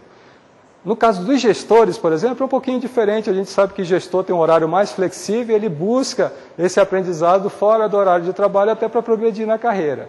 Mas se você tem um funcionário que bate cartão, ou então que passa o seu dedo lá, bota seu dedo ou passa o seu cartão, ele vai poder cobrar depois se você exigir dele que ele faça um determinado curso, mas ao mesmo tempo não dá a possibilidade dele fazer esse curso no horário de trabalho. Então tem que ter cuidado com esse aspecto legal também. Outro é, como eu vou adquirir os direitos de uso dos conteudistas, do material dos conteudistas? Então é essencial também você ter um contrato.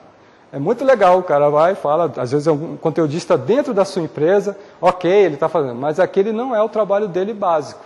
Ele não foi contratado para ser instrutor nem para desenvolver material de educação à distância. Se você quer que ele faça isso, é necessário você fazer um contrato adicional para que você tenha a garantia de que aquele conteúdo pode ser utilizado no seu projeto de educação à distância.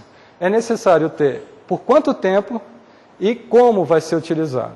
Porque a lei de direito autoral diz, por exemplo, que um, um material, quando é dada a permissão de uso, até por venda, e não há especificação de tempo, ele pode ser utilizado por no máximo cinco anos. Então, se você quer usar por mais de cinco anos, você tem que especificar que aquele conteúdo vai ser utilizado, por exemplo, por 10 anos, e o conteudista tem que assinar esse contrato para que fique claro para ele que isso vai ser utilizado por várias vezes e por vários anos. Então, são alguns aspectos, por exemplo, que podem limitar o nosso planejamento de implantação da EAD e que a gente tem que ter essa clareza de como eu vou utilizar isso. Bem, trabalhei com vocês sete aspectos que são essenciais quando a gente pensar na implantação de uma EAD corporativa.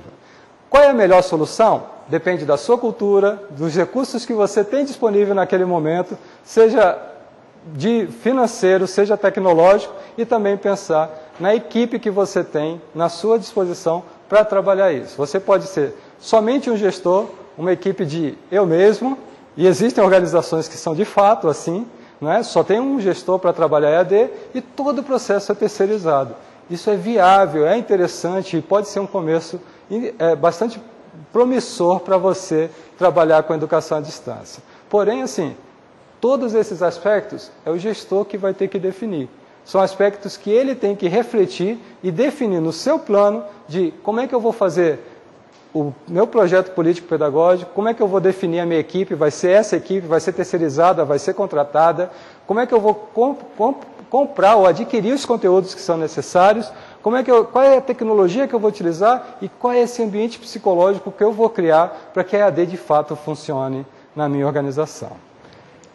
Meu trabalho é esse aqui hoje, eu queria agradecer essa oportunidade de estar divulgando e colaborando com a implantação da EAD nas organizações. É uma área que eu sou apaixonado, venho trabalhando já há anos e que eu gostaria de ver cada vez mais difundido nas empresas da melhor forma possível. Então, meu obrigado e vamos às perguntas agora com a Williams, por favor, você pode sentar aqui, Você por pode. gentileza. Obrigado. Bom, agora nós recebemos algumas perguntas e vamos dar sequência. Lembrando que você que tiver alguma dúvida, algum questionamento sobre as palestras, é, você pode estar encaminhando através do nosso chat, ok? É, bom, a pergunta aqui é do Anderson, de Curitiba. Ele quer saber é, se é baixo, médio ou alto o nível de profissionais que possuem conhecimento na plataforma Moodle e se a iniciativa privada tem preferência por outro AVA. Certo. É, bom dia, Anderson. É o seguinte, o Moodle é um dos mais difundidos é, de recursos de tecnologia do AVA. Né? É, dentro do mundo acadêmico, por exemplo, é quase unanimidade. No entanto, nas empresas, não necessariamente. É, as empresas às vezes têm ainda alguma dificuldade de trabalhar com software livre. As empresas públicas, elas podem até optar pelo software livre, mas as empresas privadas nem sempre. Então há ainda essa diferenciação. Até às vezes por um receio também de quão livre é esse software e até quando ele vai ser livre, a minha necessidade de suporte e como eu vou utilizar. Então, nas organizações, o Moodle ainda não é essa unanimidade como existe, por exemplo, no mundo acadêmico. Mas é um dos recursos que são utilizados sim. Bom, agora a pergunta da Selma. É, para implantar um sistema de palestras em um, meu, em um local de trabalho, como ela deve proceder? O sistema de. Selma. Isso, é, Selma. Selma, é o seguinte: existem várias formas de palestra. Você pode ter, por exemplo, palestras que são gravadas e depois colocadas no seu ambiente virtual de aprendizagem para que cada pessoa acesse, ou você pode ter uma palestra do tipo que a gente está fazendo aqui agora, ao vivo. Existem várias tecnologias para fazer isso. Então, assim, é essencial que você conheça essas tecnologias primeiro e veja a sua necessidade. Por exemplo, para palestras gravadas, eu uso uma handcam, por exemplo, uma câmera pequena, especial porque ela tem entrada de microfone, isso é essencial, e a gente faz a gravação no próprio ambiente de trabalho das pessoas às vezes.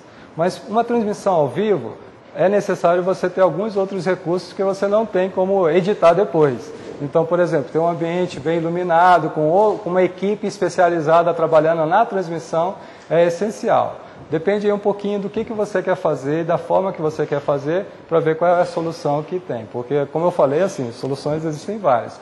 Às vezes você pode fazer uma palestra até ao vivo com a webcam no seu computador e isso funcionar bem. Depende aí da maneira que você está organizando essa palestra, tá bom?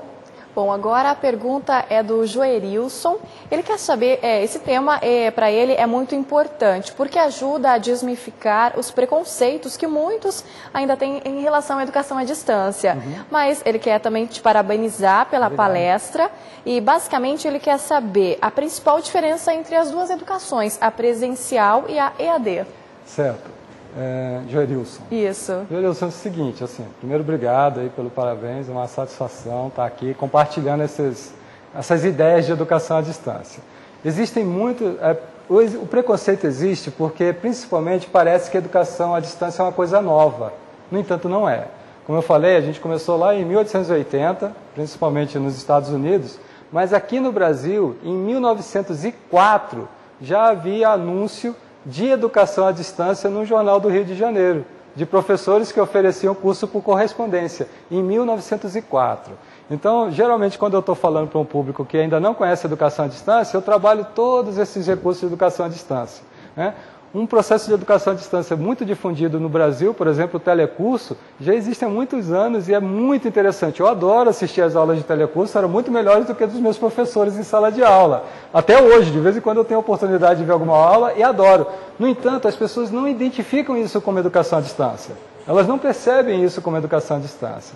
Então, a educação à distância surgiu hoje, muitas vezes até assim, do modelo que a gente tem, é de algumas faculdades ou universidades que viram na educação à distância uma possibilidade de baixar custo. Então, ah, legal, eu posso ter muitos alunos e gastando pouquinho. Ah, legal, vou entrar nessa. Isso, para alguns professores, algumas pessoas, ficou aquela coisa assim, poxa, mas será que é isso mesmo? Eu vou falar o seguinte, como eu falei na, na resposta anterior, que tem várias tecnologias para usar, às vezes a educação à distância é muito mais cara do que a presencial. Né? Então a gente tem que quebrar esses mitos aí, essa realmente é a dificuldade. Agora, sobre a educação presencial e à distância, a grande diferença é o uso da tecnologia e a necessidade de você compreender essa tecnologia. Agora, por incrível que pareça, resultado é o mesmo. Então, assim, já existem estudos desde a década de 60 do, do século passado que a educação à distância era feita por correspondência e todo mundo queria provar que a educação presencial era melhor do que a educação à distância. Não conseguiram. Por vezes a educação à distância era até tinha um resultado acadêmico melhor do que a educação presencial. E aí isso é questão já superada no meio eh, profissional e acadêmico, porque não conseguiram identificar no resultado de aprendizagem, de conteúdo, qualquer tipo de diferença significativa entre aquele que estudou presencialmente e aquele que estudou à distância. Se ele passou por todos os processos, se ele fez todas as avaliações e foi aprovado em todas elas, lá no final a gente vai ter o mesmo resultado. Então, no ponto de vista de conteúdo, de resultado, não há diferença. Há diferença no modelo. E aí realmente não adianta a gente trazer toda a nossa prática do presencial e querer transpor para a educação à distância. Aí não funciona. Mas se a gente usa as técnicas especiais de educação à distância, a gente consegue atingir o mesmo resultado. Agora vamos à última pergunta. A EAD ela pode ser adequada para a área de saúde também? Ah, interessante. É, bem, a gente às vezes fica assim, né, muito estimulado, assim, ah, a EAD é maravilhosa, não sei o quê. Existem limitações? Existem. Não é só na área de saúde, não. Existem em diversas áreas. Mas também existe muita criatividade para a gente poder pensar em como a gente vai fazer. É, então a gente tem aí algumas outras possibilidades. Se a gente pensa na área de saúde, aí a gente faz, por exemplo, um determinado procedimento em educação à distância, mas tem alguma área que não dá, algum conteúdo que tem que ser presencial, vamos trabalhar aquele presencial ali. Eu acredito muito também no processo misto. Né? Então, se a gente, além de a gente ter recursos criativos, por exemplo, ah, como eu posso fazer, por exemplo, um laboratório que o pessoal possa experimentar alguma coisa da área de saúde? Eu não posso ter, por exemplo, um caminhão montado e cada semana ele está numa filial da, da minha empresa ou de uma universidade e as pessoas treinarem naquela semana ali, inclusive agendando? Eu posso. Então, assim, existem várias outras soluções que a gente pode adotar. A gente não pode querer transpor tudo só, somente pensando assim, ah, a gente saiu do presencial e foi à distância. Calma aí, mas o qual a distância é isso? Né? Quais são os recursos que eu posso utilizar? Então, pensar aí também nessas soluções é bastante interessante, é bastante motivador também da gente. Tudo vai ser feito no computador? Não necessariamente tudo no computador, mas mesmo a gente quando pensa, por exemplo, num caminhão que vai circular, isso é educação à distância também. Isso também é forma de a gente desenvolver essas pessoas em lugar que ela esteja, que ela não vai ter laboratório e que ela precisaria, por exemplo, se deslocar de, um, de uma cidade do interior para um grande centro para poder fazer o seu curso e na área de saúde, por exemplo, eu tive muitos amigos na faculdade que saem das cidades do interior, fazem o curso e não voltam. Eles não voltam para a cidade do interior. Eles ficam na capital e ali desenvolvem. E a cidade do interior que precisa, por exemplo, daquele profissional, não tem. Então a gente levar a educação até ele. Ah, eu vou montar um laboratório lá que vai ficar disponível 24 horas? Não dá. Mas se eu tivesse laboratório ambulante, que é um só que eu fico uma semana no lugar, uma semana em outro, uma semana em outro, e atendo às necessidades de prática, por exemplo, desse profissional. Essa pode ser uma solução interessante, eu consigo manter a pessoa lá no seu local de vida para ela poder continuar trabalhando. Bom, Williams, muito obrigada pela sua participação. Mas Agradeço imensamente aí ter participado pelo Elane Corporativo. Obrigado vocês também pela oportunidade. Ok. Agora, para dar continuidade ao evento, é, a gente vai convidar o professor Robson Santos da Silva para apresentar o tema Web 2.0 e o uso das mídias sociais na educação corporativa. Eu vou aqui apresentar o seu currículo. Robson Santos da Silva possui mestrado em Educação pela Universidade Federal do, do Amazonas. É graduado em Pedagogia pela Universidade Federal de Mato Grosso do Sul, bacharel em Ciências Militares pela Academia Militar das Agulhas Negras, tem licenciatura plena em Matemática e Língua Portuguesa pela Universidade Luterana do Brasil. Atualmente é diretor da ABED, pesquisador e professor, e professor de graduação da Unip e pós-graduação do SENAC UFAM, UEA e tem experiência na área da educação com ênfase em administração de sistemas educacionais, atuando principalmente nos seguintes temas: educação à distância, e-learning, tecnologias. Além da área acadêmica, atua como consultor do MEC e do SEBRAE. Bom, professor Robson, seja bem-vindo ao nosso evento e tenha uma ótima palestra. Muito obrigado. Parabenizar o Willis aí pela excelente apresentação. Vou procurar aqui dar continuidade, né? Sempre difícil a gente suceder um grande palestrante, mas nós vamos tentar aqui então passar um pouquinho desse, desse conhecimento, né? Então, quando estava montando aí a, a, nossa apresentação, fazendo as pesquisas, então, para que pudesse apresentar aqui, fiquei pensando como, como apresentar alguma coisa de forma natural, né? E essa coisa que a gente chama de tecnologia, né? Então, a gente hoje se surpreende com a tecnologia cada dia. Mas, afinal de contas, o que é tecnologia? Tudo aquilo que o homem inventou para modificar a sua realidade, para atuar na sua realidade. Então, a gente fala educação à distância, educação presencial. É, será que isso é novidade? Não acredito que seja novidade. A história mostra que não é. Tá? Nós temos a, a, a, sensação de que, de que nós temos aí uma novidade, mas na verdade é, trata-se de uma evolução impactante. Né? A gente tem percebido aí o, o impacto maior nos últimos anos, mas ah, na verdade, uma, uma consequência de, de, um relato histórico, de um, de um avanço histórico normal. Então, nós vamos tratar aí Web 2.0 e o uso de mídias sociais na educação corporativa. Como áreas de interesse, colocamos aí a educação corporativa, o gestor. Tá ok? Obrigado. O gestor na era digital. Vamos falar um pouco de Web 2.0, mídias sociais e estratégias integradoras.